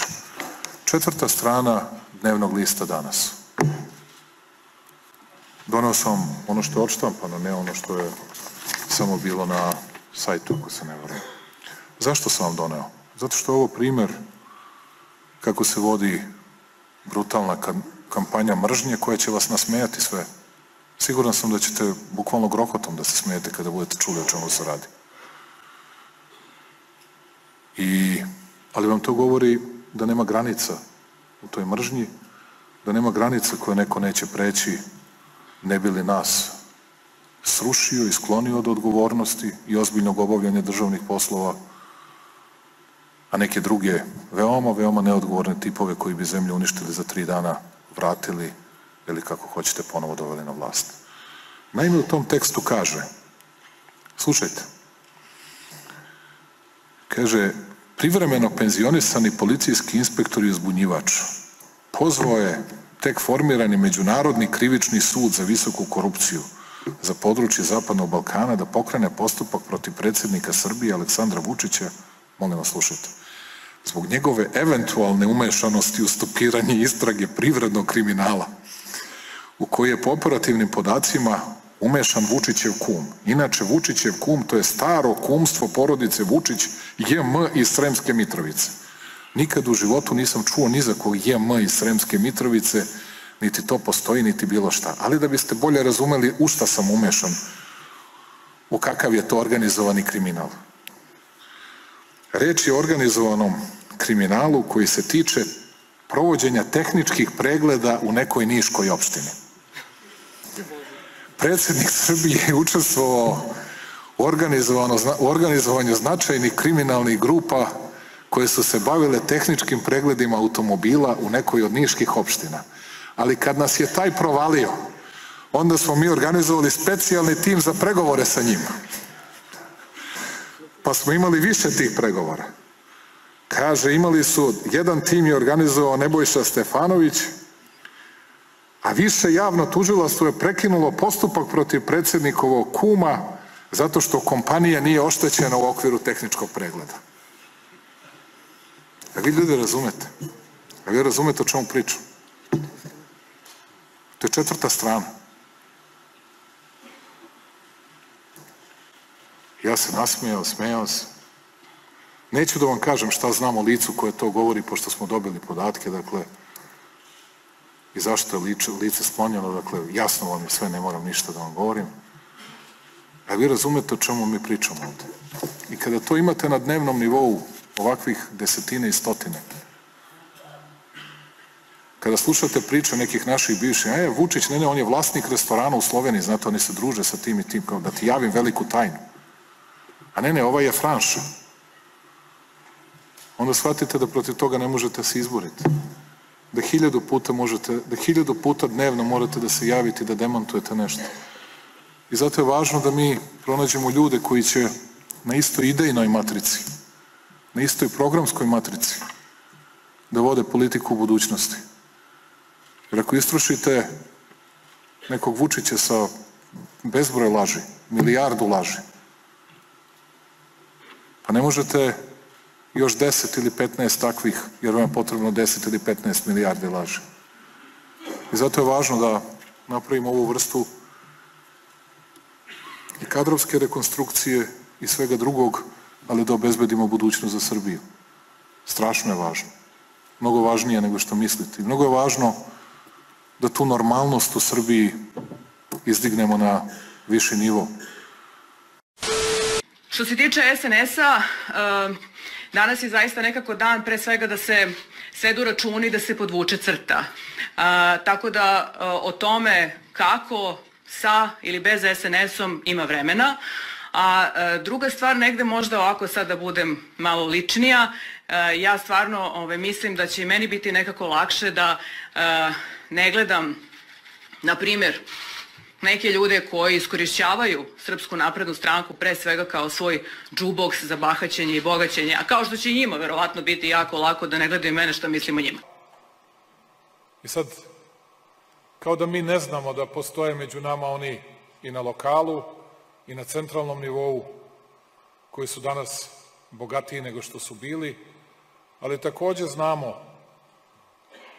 da ih nismo napravili da budu onako bezobrazno i bahato bogati kao što su neki drugi pre nas, niti ćemo to ikada dozvoliti. Ispada da je Slaviša Kokezan najpametniji među uh, ljudima iz Vučićeve dvorske svite. Slaviša Kokeza je na vreme uh, otišao na bezbednu udaljenost, uh, čim je shvatio da je na prednjački Titanik udario u santu leda, da puca jedna po jedna komora i da je vreme da to potone. On je otišao, kupio imanje u, odnosno, na Floridi, u Majamiju, ovde je pritiskom na braću Vučić uspeo da obezbedi normalno funkcionisanje njegovih firmi koje i dalje dobijaju poslove na tenderima, normalno rade. Kokezni sin normalno živi u, na njihovom imanju u beogradskom naselju Kotež, vozi Majbaha vrednog 250.000 evra sa registracijom SK, da se vi zna Slaviša Kokeza kompleksi su čudo, ali i takav iskompleksirani uspeo je da nađe varijantu da šmugne, sigurno nije to uradio a, u samostalnoj režiji, sigurno je imao podršku američkih obaveštenih službi koje su e, dobro informisane o svemu onome što mu je e, i sam Vučića i režimski mediji što su mu stavljali, ne samo mediji, nego i oni sa slušavani u policiji zbog sumnje da je oštetio budžet za 640 miliona evra švercom robe preko carine. To svakako uh, znaju i američke obaveštene službe. Nema šanse da bi nekoga ko je pod takvom sumnjom uh, pustili da uh, uđe u Sjedinje američke države, a kamoli da tamo kupi imanje bolje, ali recite mi, zar niste primetili kod nekih ljudi u vašem okruženju da žive iznad Jesam. prihoda koje, Jesam koje mogu da Jesam i na predsedništvu stranke sam o tome govorio. Da, ali kakve su posledice za njih? Osim što ste ih ukorili. Osim što sam ih ukorio, neki već nisu na funkcijama. Neće ni biti. Šta je sa onima koji jesu? Oni koji jesu, neki će biti ranije, neki će biti nešto kasnije smenjeni, ali će svakako biti smenjeni. A naravno, bit će velikih promjena u SNS-u i na kongresu stranke. Vidjet ćemo kada ćemo moći da ga održimo, tako da je to drugo pitanje. Ali kad smo govorili o, o ekonomskoj stabilnosti, sad ću citirati ono što se pojavljuje u medijima. Kako je moguće da niste primetili da fali ili da nema 640 miliona u budžetu koje su... Ajte, nemojte 640 miliona, to je pretarano, mislim, to je... I nije 640 miliona, nego je to kroz 8 godina napisano 640 miliona, ali to je... Ja vam citiram ono što piše što dolazi do javnosti. Pa dobro, to što piše, piše, nemojte se ljutiti i na tarabi svašta, pa se niko ne zaleće na tarabu. Pa dobro, to što piše, piše, nemojte se ljutiti i na tarabi svašta, se niko ne zaleće na tarabu. Dakle, puste 640 miliona su velike pare, 640 miliona imaju neki drugi. Ali, dakle, u MUP-u imate 80-90% častnih policajaca. Stvarno častnih, poštenih policajaca. I imate onih 10% koji uvek mogu da se prepoznaju po enormnom bogatstvu koje imaju. Evo, videli ste sad Stefanović, mislim da ima tu neku vilu od 3,2 miliona evra, tako nešto. Mislim, ne, neka ogromna cifra u pitanju, vi ćete znati bolje od mene, ovaj, ali stvarno čovjek živi u ne- nenormalnom, nesagledivom luksuzu. Svojim očima sam to, to videla. Dakle, a, te nepoštene policajce možete prepoznati po tom enormnom bogatstvu. Dakle, Nebojša Stefanović je ostvarivao neovlašćeni uvid u sadržaj telefonske komunikacije predsjednika i članova njegove porodice. Dakle, da, vidim kako me gledate. Čitao je transkripte njegovih razgovora. Mimo predsjednikovog znanja, njemu iza leđa. Nije preduzeo kontraobaveštenu zaštitu predsjednika, nijednu meru iz svoje nadležnosti, niti je obavestio BIA da BIA može da pre, pre- preduzme mere iz svoje nadležnosti za kontraobaveštenu zaštitu predsjednika. I što je još najzanimljivije od svega, te mere, pošto to se nije, znate, desilo jednom, dva put, tri put, to se desilo 658 puta. Znate, te mere, od kojih je većina, ako ne i sve, bile potpuno besmislene na tim nekim licima, su nastavljene i nakon toga. Znate, nisu ukinute ni na koji način. Nastavljene su. Ne, prosto ne želim da verujem i ne mogu da verujem da se tako nešto dešava, mada sam video u poslednjih nekoliko godina toliko neprincipijalnih udruživanja samo da bi se Vučić skinuo sa vlasti. Nekako mi se čini da svi pokušavaju da i one koji možda ne učestvuju direktno dovuku u to i da zajedno, a možda da neki ne aboliram, da zajedno rade na tome da samo Aleksandar Vučić ne bude na čelu Srbije, nego da to bude neko drugi ili treći s kim bi nekako čini mi se lakše izašli na kraj nego sa njim. S njim prosto ne mogu da izađu na kraj. Obesio bih se ovaj najveći lustar ovde. Zato što ozbiljan novac ulažemo u održavanje autoputevi. Kod nas možete da razvijate velike brzine, zato što stvarno velike, velike pare ulažemo u održavanje autoputeva. I tu nema greške. Ali, da li je idealno još? Nije idealno, naravno. Nije idealno, morat će da bude još bolje i morat ćemo svaki novo izgrađeni put zahteva dodatno održavanje. Pa šta ćete sad? I prema Valjevu morate da održavate. Morate Moravski koridor da održavate. Sve što izradite morate da održavate. I sve to košta. Ali i drumarina koju uzimamo je sve veća zato što imamo sve veći broj putnika, sve veći broj kamiona, automobila koji to koriste. Ali to nije dovoljno, ne prati dovoljno troškove koje imamo. Ali u svakom slučaju to jesu velike stvari, ovo jesu velike događaje. Dve milijarde košta samo ovaj, ova brza saobraćajnica ovde. Znači, dve milijarde košta samo ovaj, ova brza saobraćajnica ovde. U našem planu jeste da 2021. godine počnemo izgradnju. Dakle, pričamo praktično o povezivanju Rumunije, Srbije i Mađarske, odnosno pričamo o brzoj saobraćajnici od Sombora do Kikinde, odnosno naravno ka graničnim prelazima, 173 km, procena negde oko 835 miliona evra. To su nam planovi za naredne tri i po godine. Dakle, idemo prvo, kao što vidite, to je ovaj osmeh, što smo već svi kolokvijalno nazivamo smajli pogrešno, naravno. To će koštati ne manje, ako se ne varam, Gorane, od 2 milijarde evra na kraju krajeva. ima stvar. Opet kažem, on misli da smo mi svi rasli u saksiji, šta? Procena negdje oko 835 miliona evra. Trikovi su u detaljima. To će koštati ne manje, ako se ne varam, Gorane, od 2 milijarde evra na kraju krajeva, ali će nas spojiti kao vodoravni osmeh, dakle pravi, spojit će nam severozapad sa severoistokom naše zemlje, dakle Sombor i Kikindu, odnosno Bački breg i Crnju. To će koštati ne manje, ako se ne varam, Gorane, od 2 milijarde evra na kraju krajeva. To će sve postati uh, prošlost u, u nekoj bliskoj budućnosti. To će koštati ne manje, ako se ne varam, Gorane, od 2 milijarde evra na kraju krajeva. Prvo okrivljeni je 40-godišnji Predrag Koluvija. Rođen je u Nemačkoj, po zanimanju je poljoprivrednik, vlasnik Jovanjice i direktor u devet firmi. Tereti se da je organizator kriminalne grupe, a njegova uloga je po optužnici bila da obezbeđuje i instalira opremu za proizvodnju marihuane radi dalje prodaje, kao i opremu za pakovanje droge. U Nemačkoj je osuđivan kao višestruki prevarant, a u Italiji zbog nedozvoljenog držanja oružja. I o tome je takođe Koluvija govorio i rekao je to svojim advokatima.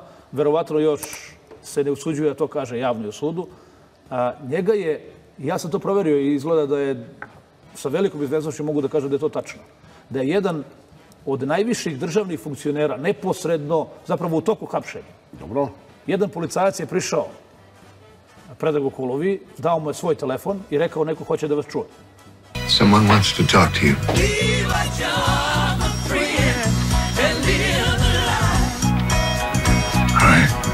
Koluvija se javio. Sa druge strane žice je prepoznao glas i taj se čovjek predstavio vrlo visoko pozicionirani državni funkcioner. Da ne govorim sad sve. I u rekao policiji, mu je, da li u policiji? U da vreme hapšenja. U vreme hapšenja. Dakle, neposredno posle hapšenja. Da li je iz policije taj? Pa ja sad to ne znam. Vrlo visoki državni funkcioner znam, ali ne mogu da kažem. Dakle, okay. taj čovjek mu je rekao takođe da za sve optuži, rekao mu je slobodno reci sve. I slobodno kaži da je, da je ovaj, iza svega stoji Andrej Vučić. On je vrlo zanimljivo način kako on bi uhapšen. Jer on je, zvanično mu dato rešenje 14. novembra, a on je inače 13. novembra u 13 popodne, što on sam kaže na suđenju, otet na autoputu. I vezane su mu lisi, ruke lisicama bile sve, tako da nikog nije ni mogao da zove. To je vrlo sve zanimljivo. Da ne govorimo o samim tim... Čekaj, nudili su mu da razgovara i sa pa, ministrom policije Stefanom. To mu je taj Mitić kao, odnosno... Someone wants to talk to you.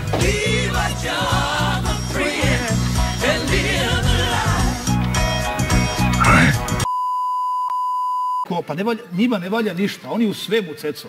Oni u svemu a, a, traže samo a, nešto što ne postoji. Oni hoće da dokažu da je neko ono što oni jesu.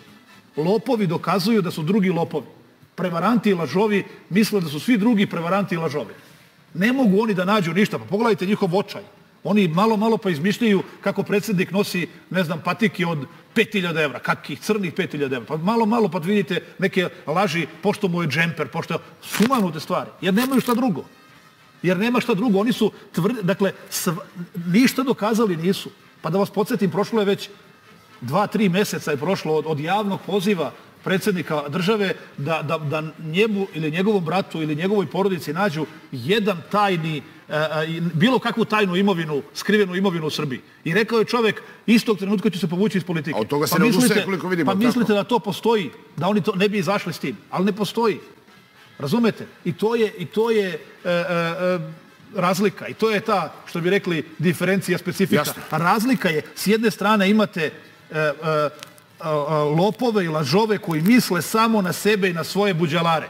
I s druge strane imate ljude koji su zaista posvećeni državi i zaista imaju neki cilj. Pa ja znam, poznajem predsednika, njemu je, da vam kažem, najveća ambicija u životu da ostane zapamćen u istoriji kao neko ko je učinio nešto veliko za svoju državu. Neverovatno, ali istinito. Verujte mi, to je tako i to, to, to je valjda danas jasno i nije valjda, nego je to je jasno ogromnoj većini građana ove države. To vidimo na svakim izborima.